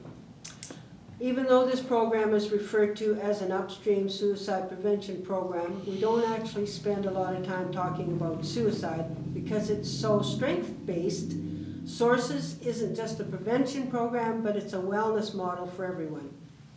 We talk about eight specific strengths or protective factors that help us all navigate life's up and downs, and this is going to be in the schools.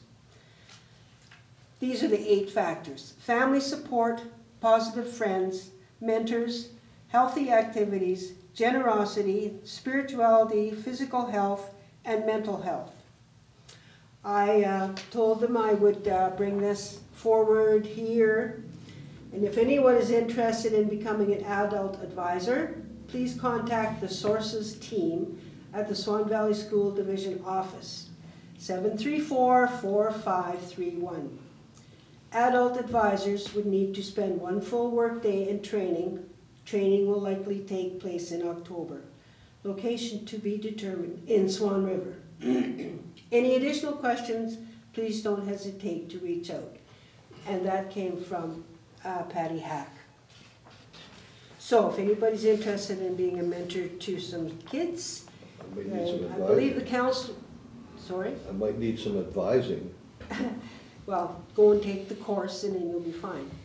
Yeah. The uh, younger students will be mentored by probably their counselors, but they want to include everyone, not just the teacher.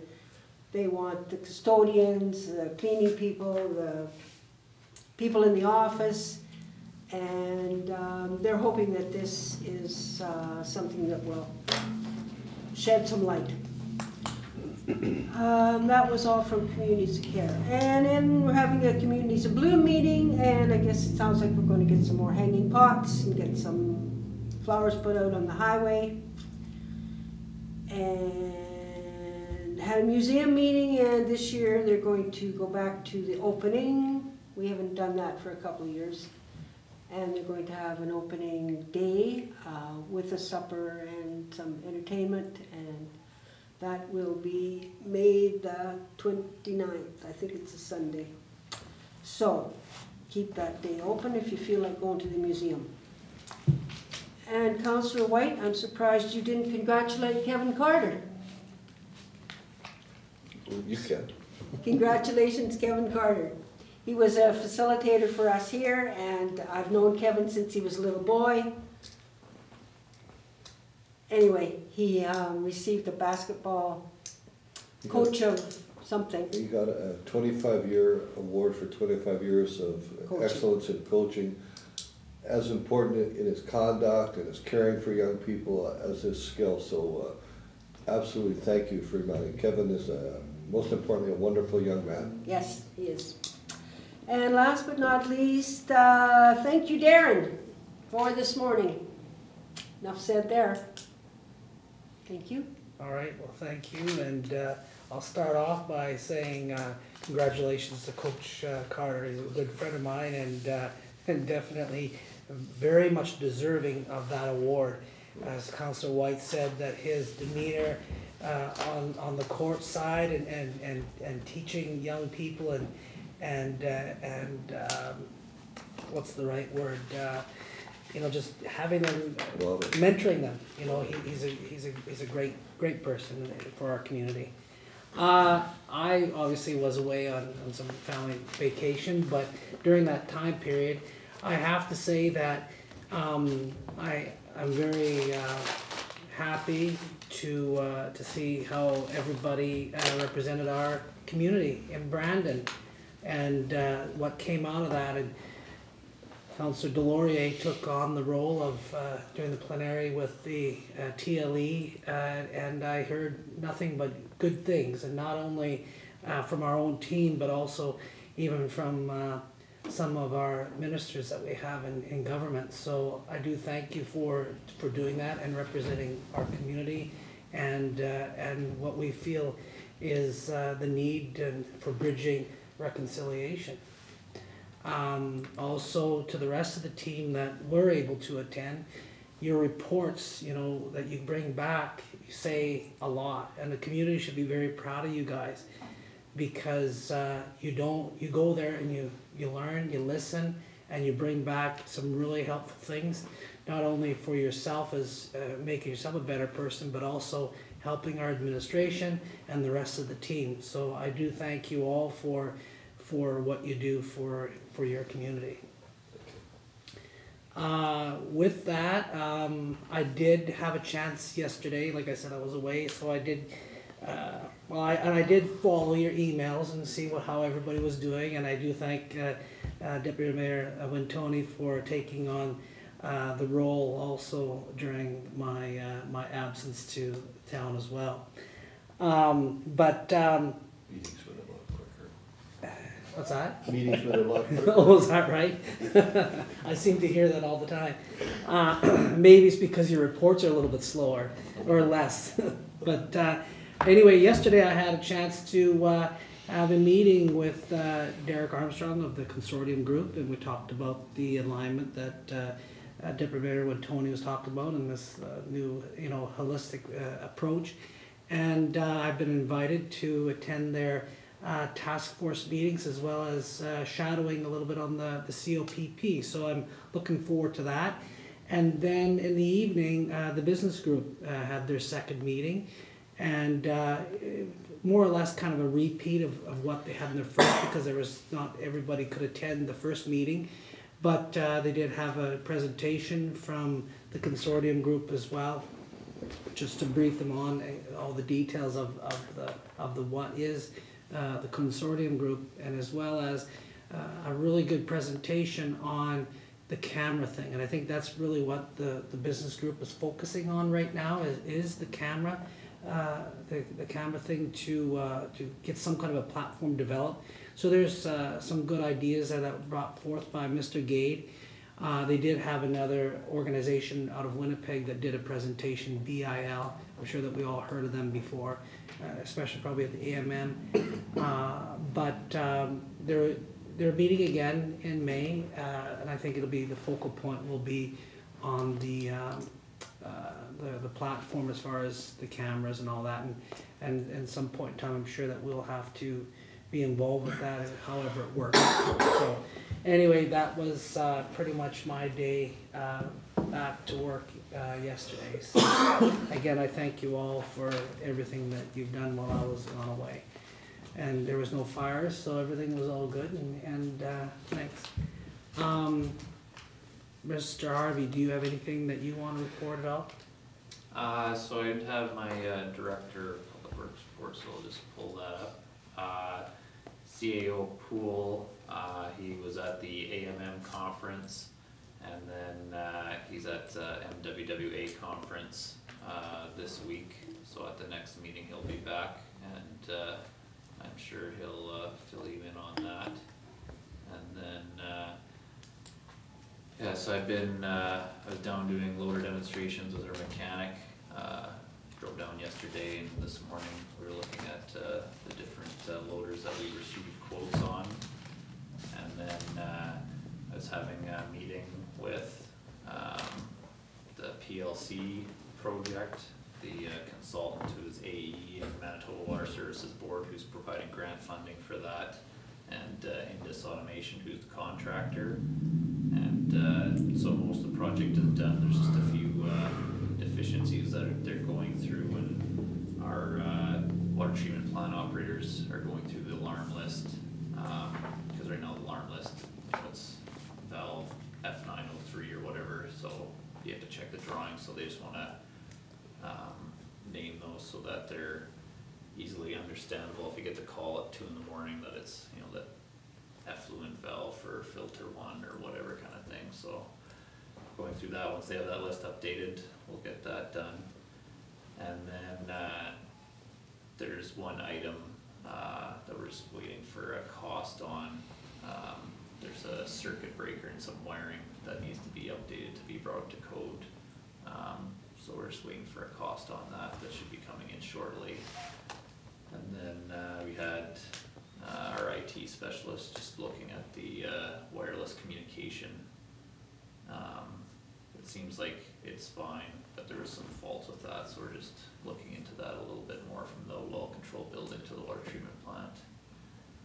And then, uh, interviewing, uh, summer students, cause we're gonna be quickly getting into the summer work. And, uh, so we'll be busy with that and, and a few meetings, um, regarding, uh, or meeting regarding the cemetery with, uh, someone interested in doing some volunteer work out there and, uh, had the meeting with MTI to discuss, uh, PTH ten and eighty-three intersection.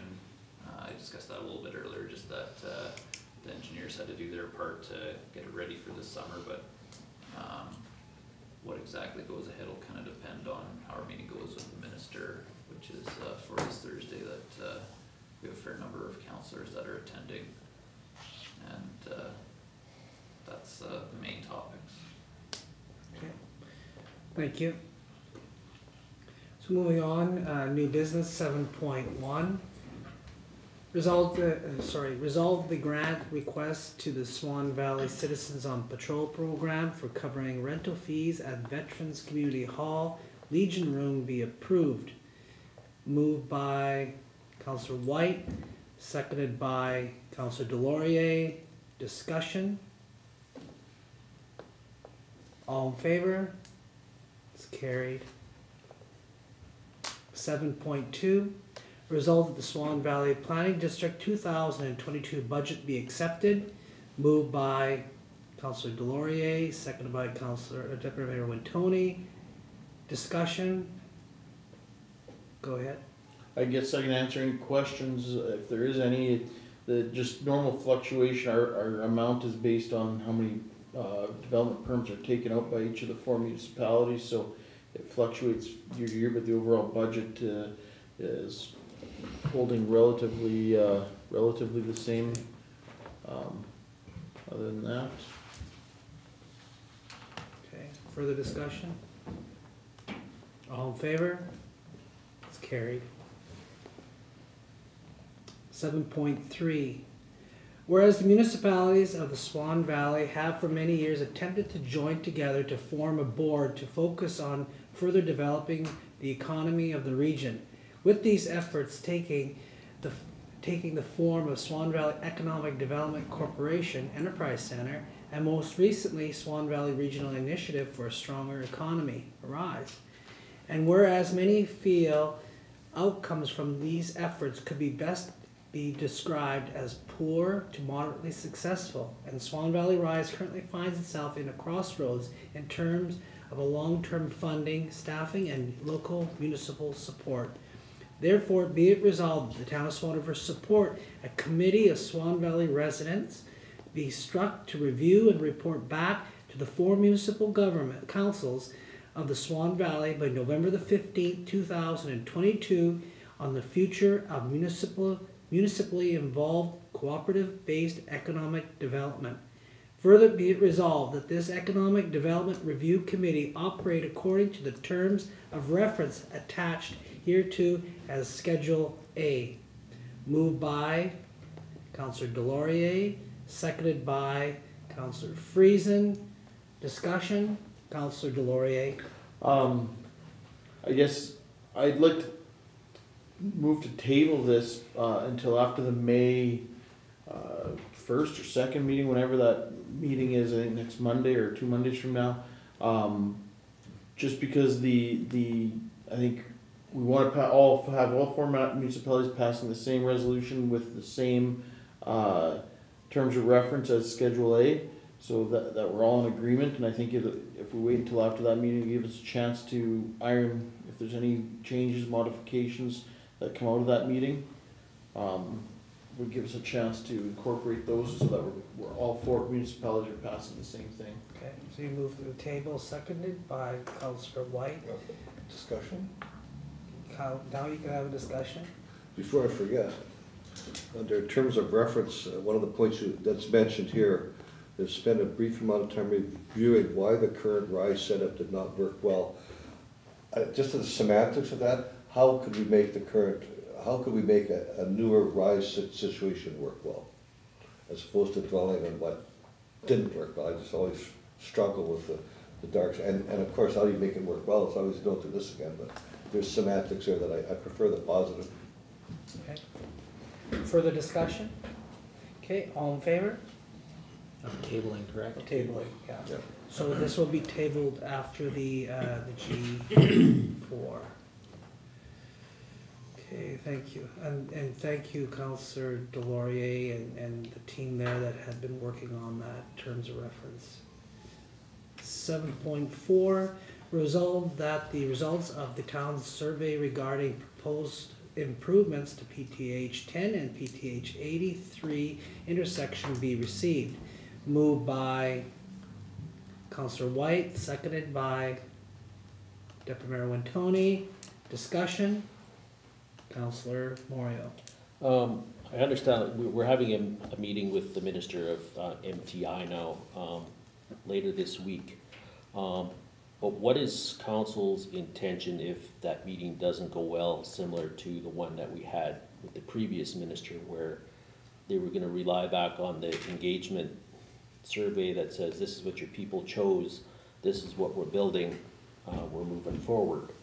Um, if they don't wanna have discussions or look at some hybrid model, or no barriers and just left turn lanes, is council in a position where we are ready to just block that development or that change and to save the, the, uh, the businesses there, or, um, are we gonna let MTI continue on? Mr. Harvey? Uh, and you can definitely have a discussion on it, depending on that meeting, like if they do just say, no, we're forging ahead, then they would be asking for a resolution from us in support. Uh, so that would be put to council whether to proceed or, or not to proceed, not- but to, uh, support proceeding with it. And, uh, one thing, uh, should mention just from that meeting is, uh, there was a change to their option A, uh, which is the, uh, protected lane with the concrete median, where they moved the west end a little bit to the east. Um, so the undeveloped lot, the access there doesn't change, it would still be, uh, uh, the access wouldn't be very good, you'd only get it when you're coming westbound. But you would be able to turn into Quick Stop into their west entrance when you're traveling eastbound. And to come out of west out the west exit to Quick Stop and turn eastbound. So there's just a slight change to the, uh, um, median, whereas before it covered both exits, now it just covers the one. Um, but we can discuss that depending on how it goes with the minister if council doesn't get, uh, what they're asking for. Right, Councilor Delaurier. I guess in response to Councillor Moriaux's question, my, my thoughts would be if, if they choose to, to want to proceed in, in a, in the, in the foolish manner, so to speak, of, of putting concrete medians up there, I, I would be in support of, of passing resolution that we don't support that and leave the intersection as it is. You know, I, I think those medians bring their own set of safety concerns, they don't bring their own set of, uh, you know, nav, I, I, I would say, you know, for how much, uh, They moved. opposition there, there was to a roundabout, that makes it even worse. And, and even further to that, I'm sure the developer that's looking to develop on that corner is watching with bated breath as what's gonna happen here and whether, whether they wanna put their development on that corner. Um, I can't imagine that wanting to be landlocked or or tying off half your, uh, customer base by, uh, by, by not having, allowing people to turn left. And even, even just looking at it from a, from a traffic perspective, you're, you're, you're increasing prob, maybe not double, but you're increasing by a, a large threshold the amount of traffic going in through that intersection just for the fact that you're making them go through twice now. You gotta go once to go to Formos and then round, come back around. So it, it, it, it, it causes all sorts of, uh, you know, there's all sorts of aspects of how that is not a better way to do it. You know, I guess, I guess I'm not a traffic engineer, so I don't maybe see what they see, but I would be in support of not supporting what they're trying to do. Councilor Whyte. Absolutely. And let- let's pretend company X wanted to buy that lot, wants to employ 20, 25 people, wants to attract people to our community. What an economic boom, but to lose it all over five hundred meters of whatever that aren't in many other places and it works well without them. So I'm cautiously optimistic the government will realize that we can't afford to be losing uh, development over some silly engineer, if you guys aren't engineers, engineer guy, girl. Councilor Bobick. A lot of that was mentioned at the meeting about the traffic going in and out of Uh, there was mention of the lot. Uh, It was noted that there would be no access allowed on traffic heading north into that vacant lot right now. That would never happen. So if this proceeds the way this drawing is, the only access into that lot would be if you were heading west. So this was all been mentioned, but again, we were mentioning it to engineers, not the minister. So my personal feelings on that, if this does not change to any degree, I would not support any of this and just leave it the way it is. Okay, further discussion? So on the question on the uh, town survey results, all in favor? Are you asking a question? I just have one more comment, I just wanted to make a comment to, uh, Mr. Harvey and his team as far as putting together the survey, compiling the results, you know, it's kind of, you got a department to run and then council kind of sometimes shoves these little projects on you, so you handled it well, thank you. Thanks. part of the discussion. I hate assuming, has this data been sent to the Minister of Highways? Yes. Okay. And then, Thank you. Okay. Further discussion? All in favor? It's carried. Where are we here? Seven point five. Whereas the Bowsman Lions Club has rented the Veterans Community Hall on April the thirtieth, two thousand and twenty-two for the purpose of hosting a supper to support Ukraine.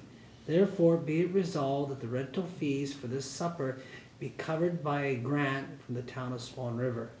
Moved by Counselor uh, Whyte, seconded by Counselor Friesen. Discussion? Any of those that put their hands up? We got Counselor Whyte. I hope it's the beginning of many uh, opportunities for our community to help our Ukrainian neighbors. Further discussion? All in favor? It's carried. Eight and eight point one. Whereas on February the twenty-third, two thousand and twenty-two, Russian forces launched an unprovoked invasion of Ukraine in violation of international law, creating a crisis on a global scale, the likes of which which have not been seen since World War II. And whereas the ongoing assault on Ukraine has forced hundreds of thousands of civilians to flee their homeland to seek refuge in other nations. Now therefore, now therefore, we, the ta- the council, of the town of do hereby proclaim that we stand in solidarity with our Ukrainian friends and neighbors. We offer our support in whatever we can, way we can, hold the casualties of this violence close to our hearts and recognize the sacrifices that are being made in the name of freedom and democracy in Ukraine. Slava Ukraini, glory be to Ukraine. Moved by Councillor Whyte, seconded by Deputy Mayor Wintoniw. Discussion, Councillor Whyte. Uh, It just the semantics, when this was composed, it was hundreds of thousands, I think millions, it's millions now. So I'm not sure, is it, do we have to make any major changes, to put that word in there, millions of civilians? I, Does Sure. it change this intent? No. I don't think it does. Leave it alone. Okay, it's right, it's true. further, di- further discussion? All in favor? It's carried. Thank you, Councillor Whyte. Nine point one, resolved that the accounts as follows be hereby approved for payment. General accounts checks number twenty-eight seven seven three to number twenty-eight eight four eight totaling one hundred and seventy-nine thousand four hundred and thirty-five and ninety-five cents as listed on Schedule A. Pay, payroll accounts checks number five zero seven five to number five zero eight two totaling eighty-eight thousand eight hundred and sixty-two dollars, or sorry, eight hundred and sixty-two and twenty-two cents as listed on Schedule B. Direct deposits totaling seven hundred and seventy-five dollars as listed on Schedule C. And direct deposits totaling fifty-two thousand one hundred and eight dollars and six cents as listed on Schedule D. Moved by Deputy Mayor Wintoniw, seconded by Councilor Friesen. Discussion?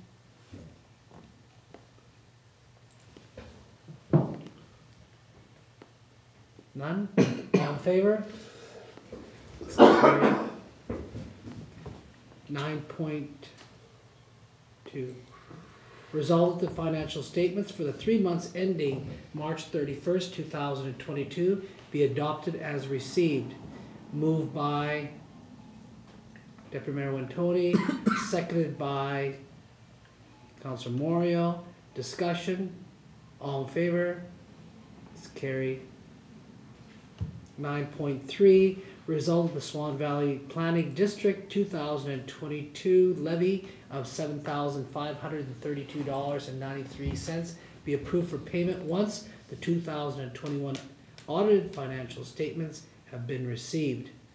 Moved by Deputy Mayor Wintoniw, seconded by Councilor Delaurier. Discussion? All in favor? It's carried. How long does that audited financial usually take? They're not usually done till summertime. Okay. Nine point four. Whereas the town of Swan River used municipal equipment, materials, and labor to carry out private works on private property under the Municipal Act Clause two fifty-two E and set the fees and charges for the works under Clause two fifty-two one A of the Act. And whereas sufficient time has been allowed for payment of such outstanding amounts as listed on attached Schedule A totaling two thousand nine hundred and thirty-seven and two cents. Therefore, it be resolved that each of the unpaid amounts listed on Schedule A be added to the corresponding tax roll and collected in that manner under subsections two fifty-two two of the Act.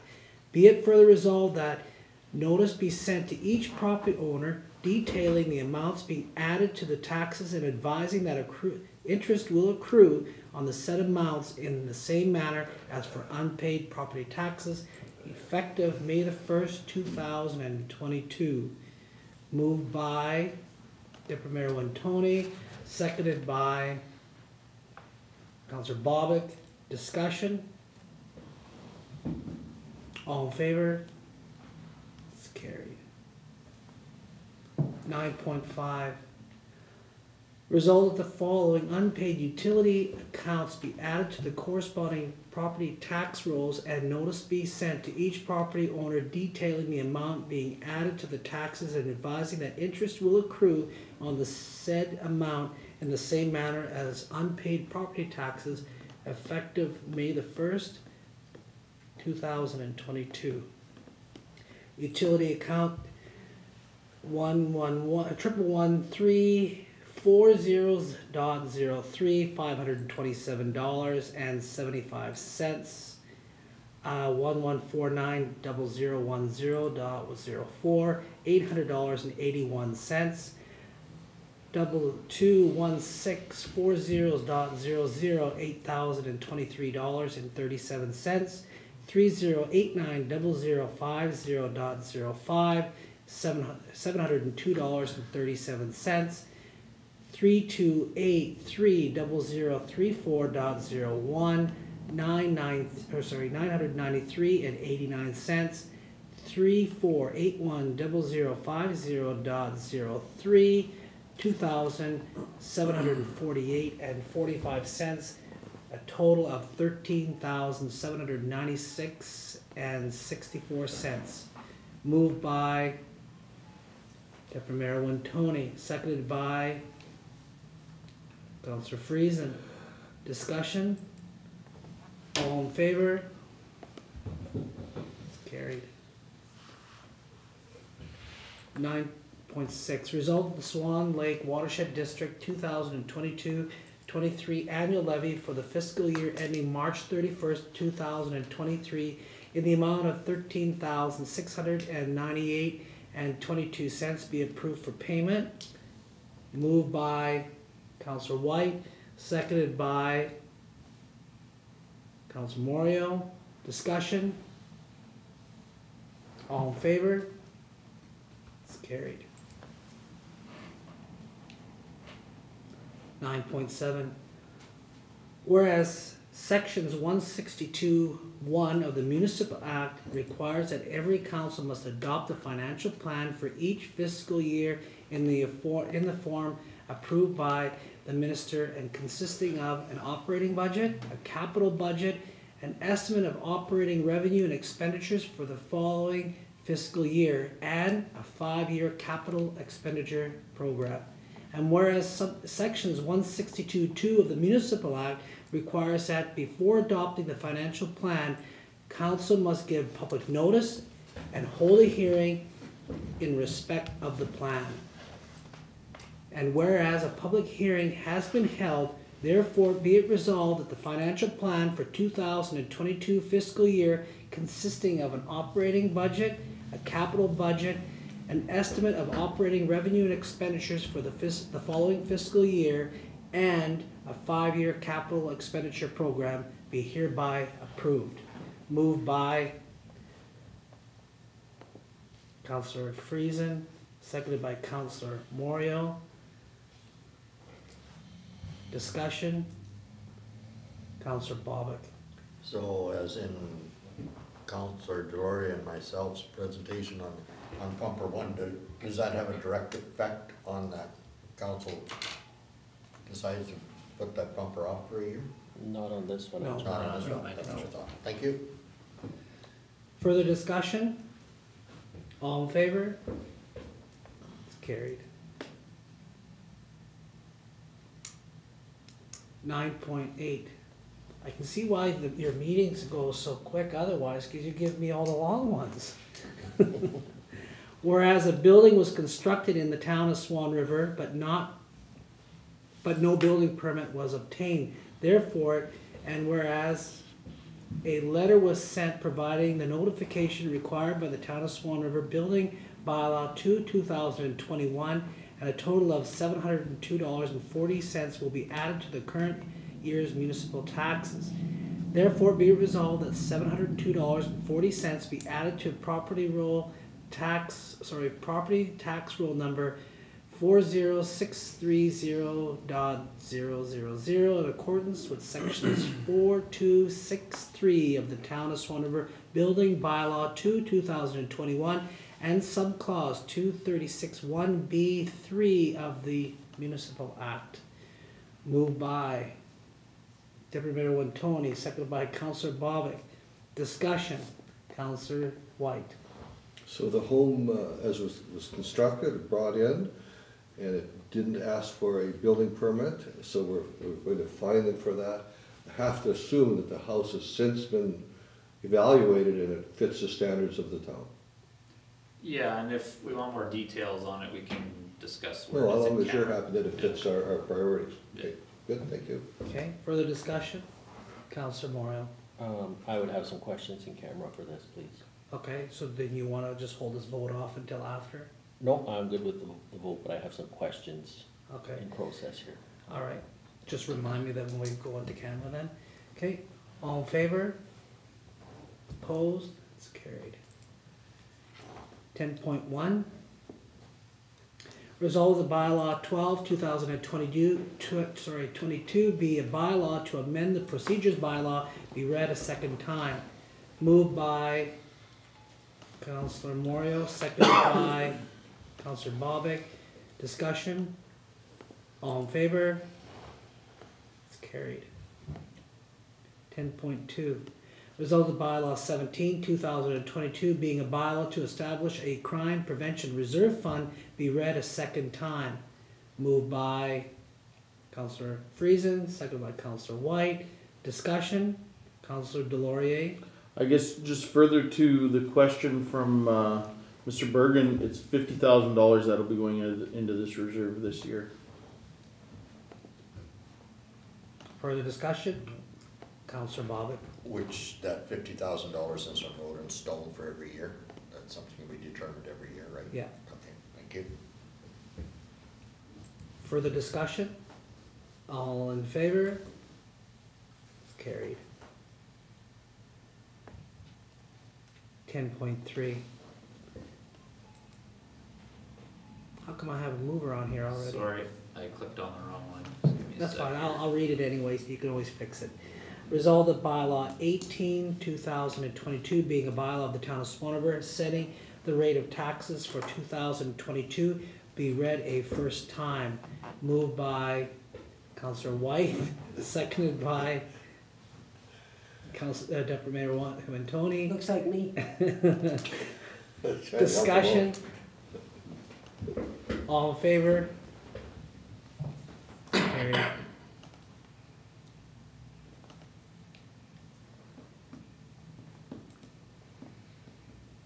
Uh, ten point four. Resolved by law 19, 2022, being a bylaw to provide for the expenditure and borrowing of funds for the replacement of pumper one with all required equipment be read a first time. Moved by Counselor Friesen, seconded by Counselor Moriaux. Discussion, Counselor Delaurier.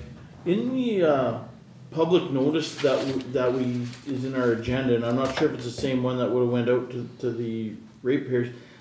I, I don't wanna say that there's a mistake, because I, I, but, but I may be misunderstanding it. If you look in the public notice, it says that, uh, that based on the twenty twenty-two assessment, a mill rate of four point six uh, mills will be required in each of the years twenty twenty-four through twenty thirty-eight. That can't, I, I shouldn't say it can't, but the way I understand it, that can't be right because four point six mills at hundred and ninety-five million dollars would raise, uh, would raise about nine hundred thousand dollars. We can't, we can't be raising nine hundred thousand dollars in each of the years, so it must, that must not be for, that's how much it would take to pay it off in the first year, correct? Okay, um, Mr. Yes. Harvey, we're gonna lose that here, so you just.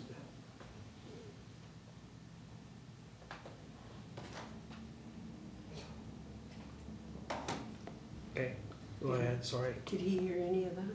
Mr. Gnida?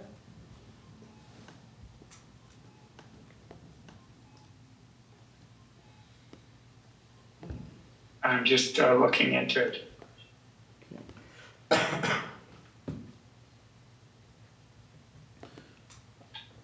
Go ahead. I, I guess while he's looking into that, I, my second comment is, um, you know,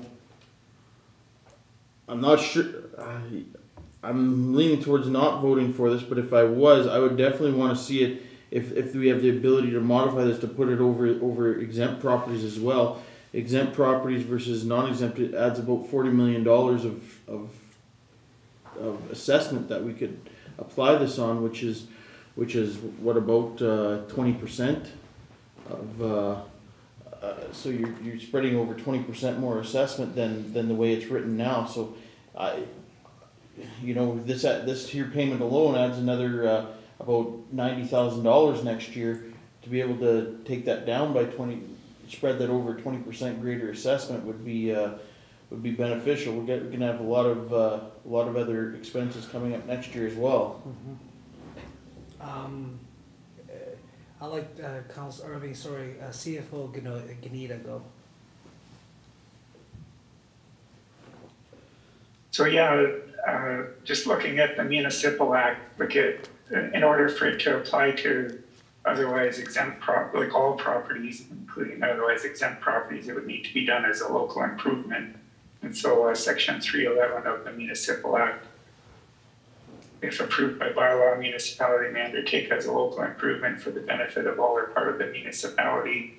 And the, and the first part is what I was thinking, like infrastructure, the acquisition, development, upgrading, or replacement of one or more of the following sewage collection and treatment facilities, water supply treatment and distribution facilities, waste management facilities, highways, drainage systems, but then there's a, or any other project, the cost of which includes a capital component.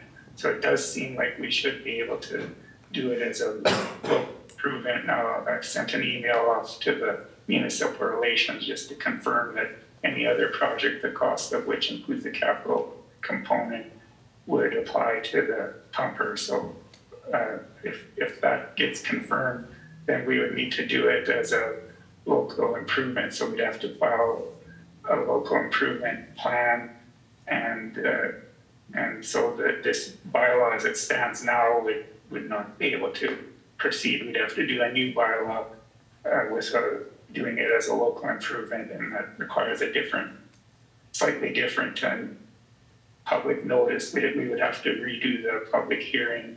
We would have to uh, give public notice for that public hearing. And since it's a local improvement and it, it would affect uh, railway properties, there's a requirement we'd have to send, notify the railway company by registered mail at least 21 days ahead of the public hearing. But for a general borrowing, we just need to advertise twice in the Star Times, uh, 14 days before and seven days before. But with a local improvement that affects a railway property, we would have to send the registered mail to the railway property. So it delay, it's a little longer notification period.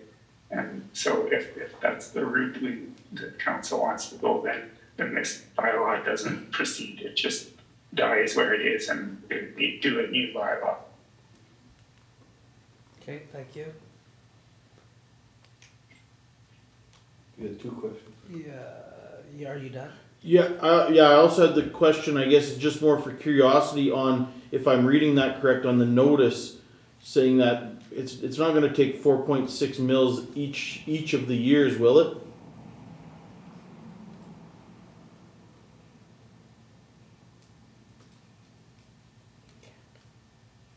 No, it can't. Four point six mils comes out to nine hundred thousand dollars, which is the cost of it. And that, that must be a mistake. I'm, I'm still just looking at the, Okay. While you're looking at that, uh, Counselor Bobick, I, I, so am I under the impression that if this resolution went through, that ratepayers of the town of Swan River would be buying a pumper that would protect properties that don't pay into it?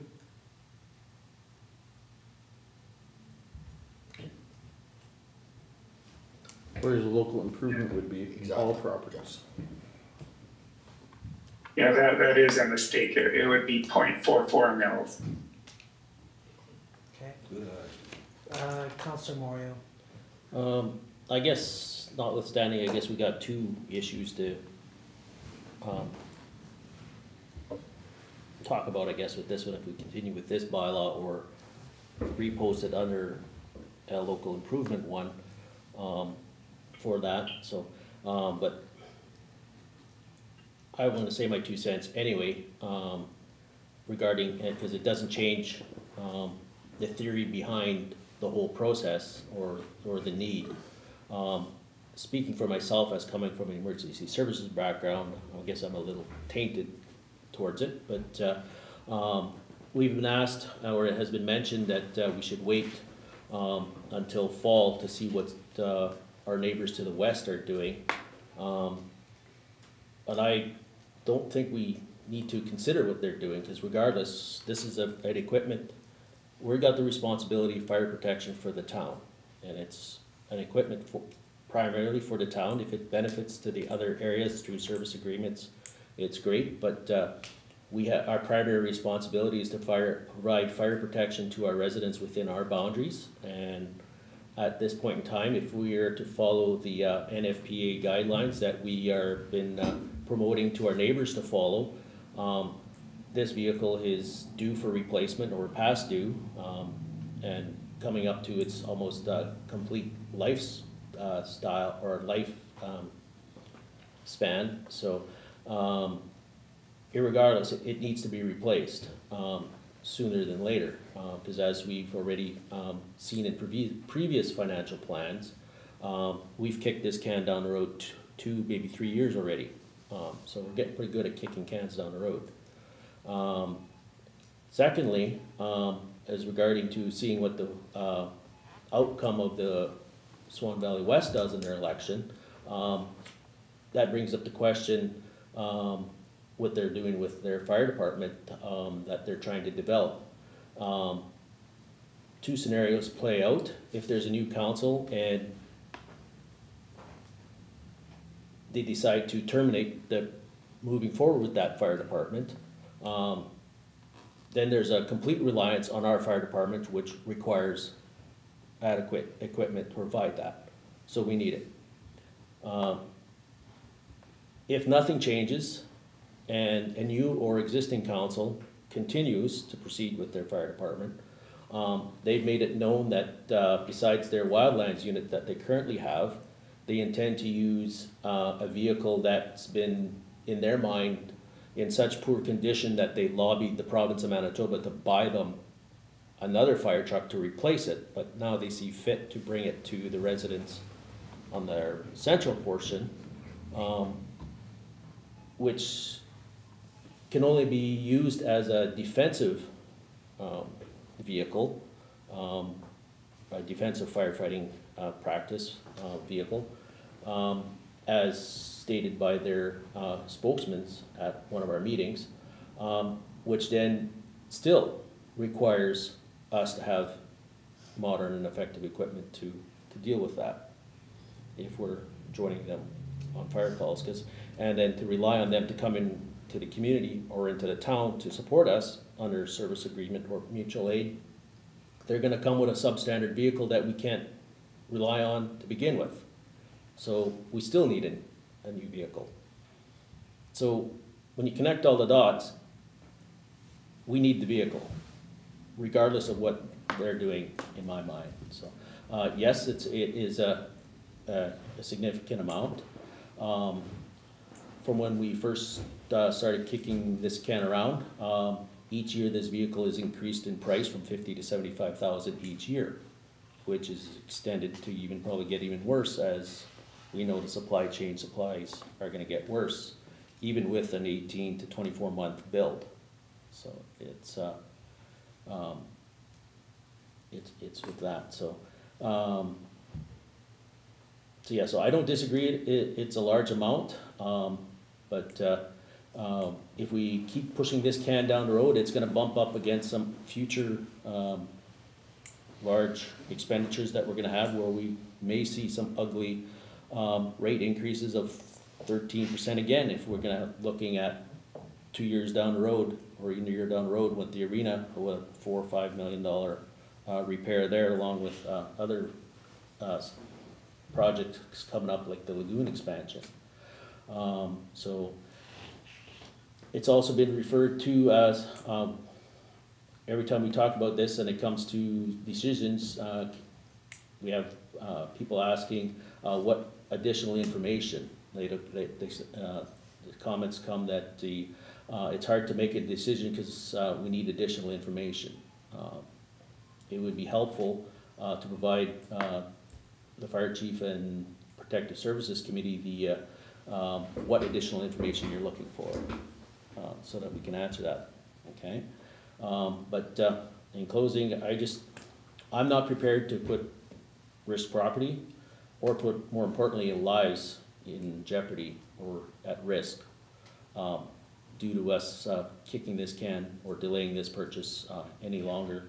Um, as we're a department that follows, uh, national, um, NFPA standards and we got a fire truck, our mainline truck is about to time out in less than two years, so, uh, I think we need to be ahead of this curve instead of behind it.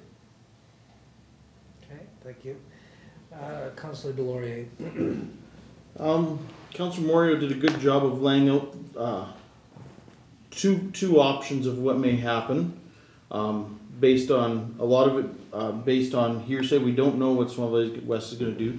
But there is a third scenario that may play out, um, it's, it's based on hearsay that's probably just as valid as, the hearsay that Councilor Moriaux, uh, based his uh, two options on. There's, the third option is the fact that Swan Valley West, in, in their quest to form a fire department, it may be also looking at buying another pumper. Hopefully, after elections, cooler has prevailed and there isn't two fire departments. Now all of a sudden, we have two municipalities that have bought two new pumpers. That, that, that's my concern.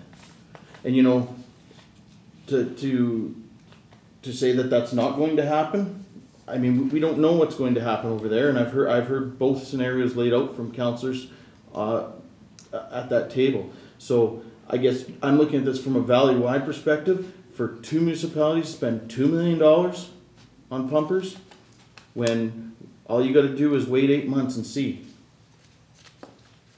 Uh, that, that, that's where I'm coming at that from. I'm not saying we don't need it or we won't ever buy it. That's, that'd be where, where I'm looking at it from. Councillor Bobick. Yes, I agree. I, I really don't base my decisions on what our neighbors do or something. That's totally their business and they can do whatever they want. But at the same time, I understand that this needs something that, that our community needs. And I, I, I rank our fire department very highly in how they've managed over the years and the equipment and the budget.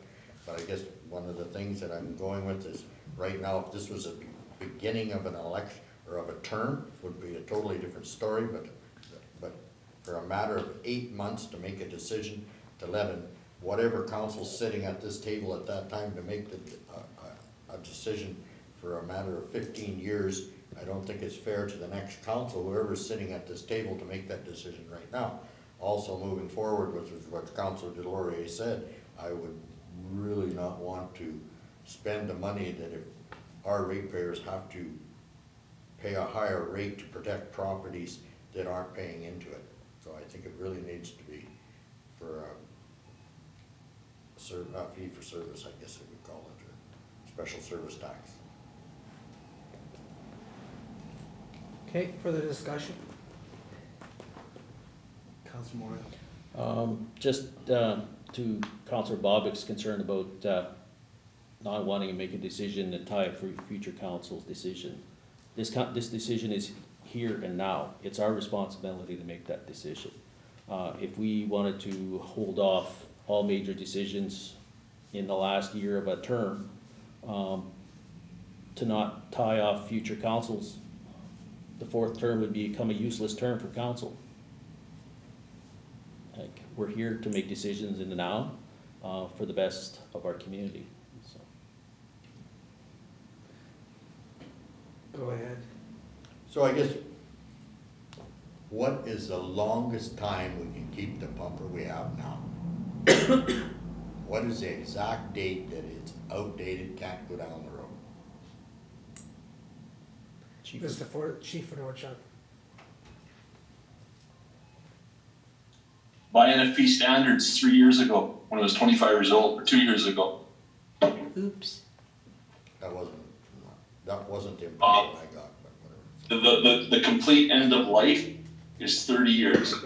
So So, if you take, so if you take in a two-year build time, eighteen months, if we were to order, say this fall, you're looking sometimes later twenty twenty-four, which puts the truck at twenty-nine and some years. and the, and the standards are twenty-five years, is that what I'm getting? Uh, yeah, at FUS and NFPA, uh, recognize, uh, trucks as, uh, end of life of twenty-five years, completely done at thirty. Okay, so and is there, so I guess you must have some kind of carryover if you meet a certain standard, you, you must have to test it or something, do you? It, it was, uh, all included in that package I sent, the FUS standards Yeah. for a small community was 20 20 plus five years, so twenty-five years. Thank you. Okay, further discussion? Go ahead. I, I, I guess there's two issues here on whether to go ahead with it and how we're gonna go ahead with it, whether it's gonna This- be, This is the first reading. right, but there's no point, if we're going through the local improvement process, why even, why Well, even do the first Well, reading? that, I was, that's what I was gonna ask council, like, if, if you're thinking about having it changed to the local improvement or how, it- however it's paid for, then you have the option right now of having this tabled and having, uh, CFO Gnida, uh, reach out to, uh, to the people that he needs to find out the details on it, and then, if that's the route the council wants to go, then you can vote on it uh, at a next council meeting. Councilor Whyte, I so move. So you're moving to table? Yep. Okay, second to table, So we're tabling it to have CFO Gnida look at the, the taxation The part, of it, or taxation, the levy, the- I yeah. guess. the local improvement process. Is that why, that's the purpose of that? Yeah, that more money coming in. I, Okay. or, I'm gonna have a discussion. How long would that take? Um, Mr. Gnida, how long would that, uh, take for you to get that information together? Uh, well, it depends how soon I get a response from the province, but as soon as I get the response from, affirmative response from the pro- province, then I can prepare everything, and, and as I mentioned, it requires a registered mail to CN twenty-one days ahead of the public hearings. So we- that would be potentially at least a month, Yeah, Counselor Memorial. So I guess, what, I guess what Council Bobick is asking, or, uh, way, or what I'm interpreting it what the question is, is if that's gonna take a month to do that, um, are we proceed, are we looking to proceed with this? Cause there's no sense in having administration go through that process if we're not looking to proceed with the purchase. So we're trying to put part two ahead of part one of, are we actually gonna do this or not? Like, so I don't know if we need to let th- this die and pass a resolution that we instruct administration to proceed with that option to keep the ball rolling, or how does that work? Counselor Baldwin? Uh, with that, if it went that route, I would support the motion on that fact. So, Counselor Whyte? As I understand the discussion, if we go this pathway, that'll give access to more funds, should reduce the impact on purchasing this. Fine, that's, that's what I thought. So we have a motion on the table to table this resolution, or this, I'll second that motion to okay, so we table. have a second, so then all in favor of that? I don't know what the motion is. It's so To ta- confusing. To table right now, so that Mr. Gnida can find all the information out as far as the taxation or the levy piece of it, and then we'll vote on it, uh, obviously at, after a hearing, uh, will be, uh, set forth, because we'd have to make note to all the interested parties in order to have that hearing. And that would be roughly in about a month's time. So, so, So we are purchasing. so, well, we haven't decided that. We, we just decided to table this, this bylaw. The question is, are we gonna now have administration go through all this? Um, with the possibility or of us, Right now, we have a, a motion to table. That's what we have. And the question is, is if, if, that can't be much of the discussion beyond that. So if there is no further discussion, I'll ask for the vote. So all in favor of tabling? It's carried, so it'll be tabled.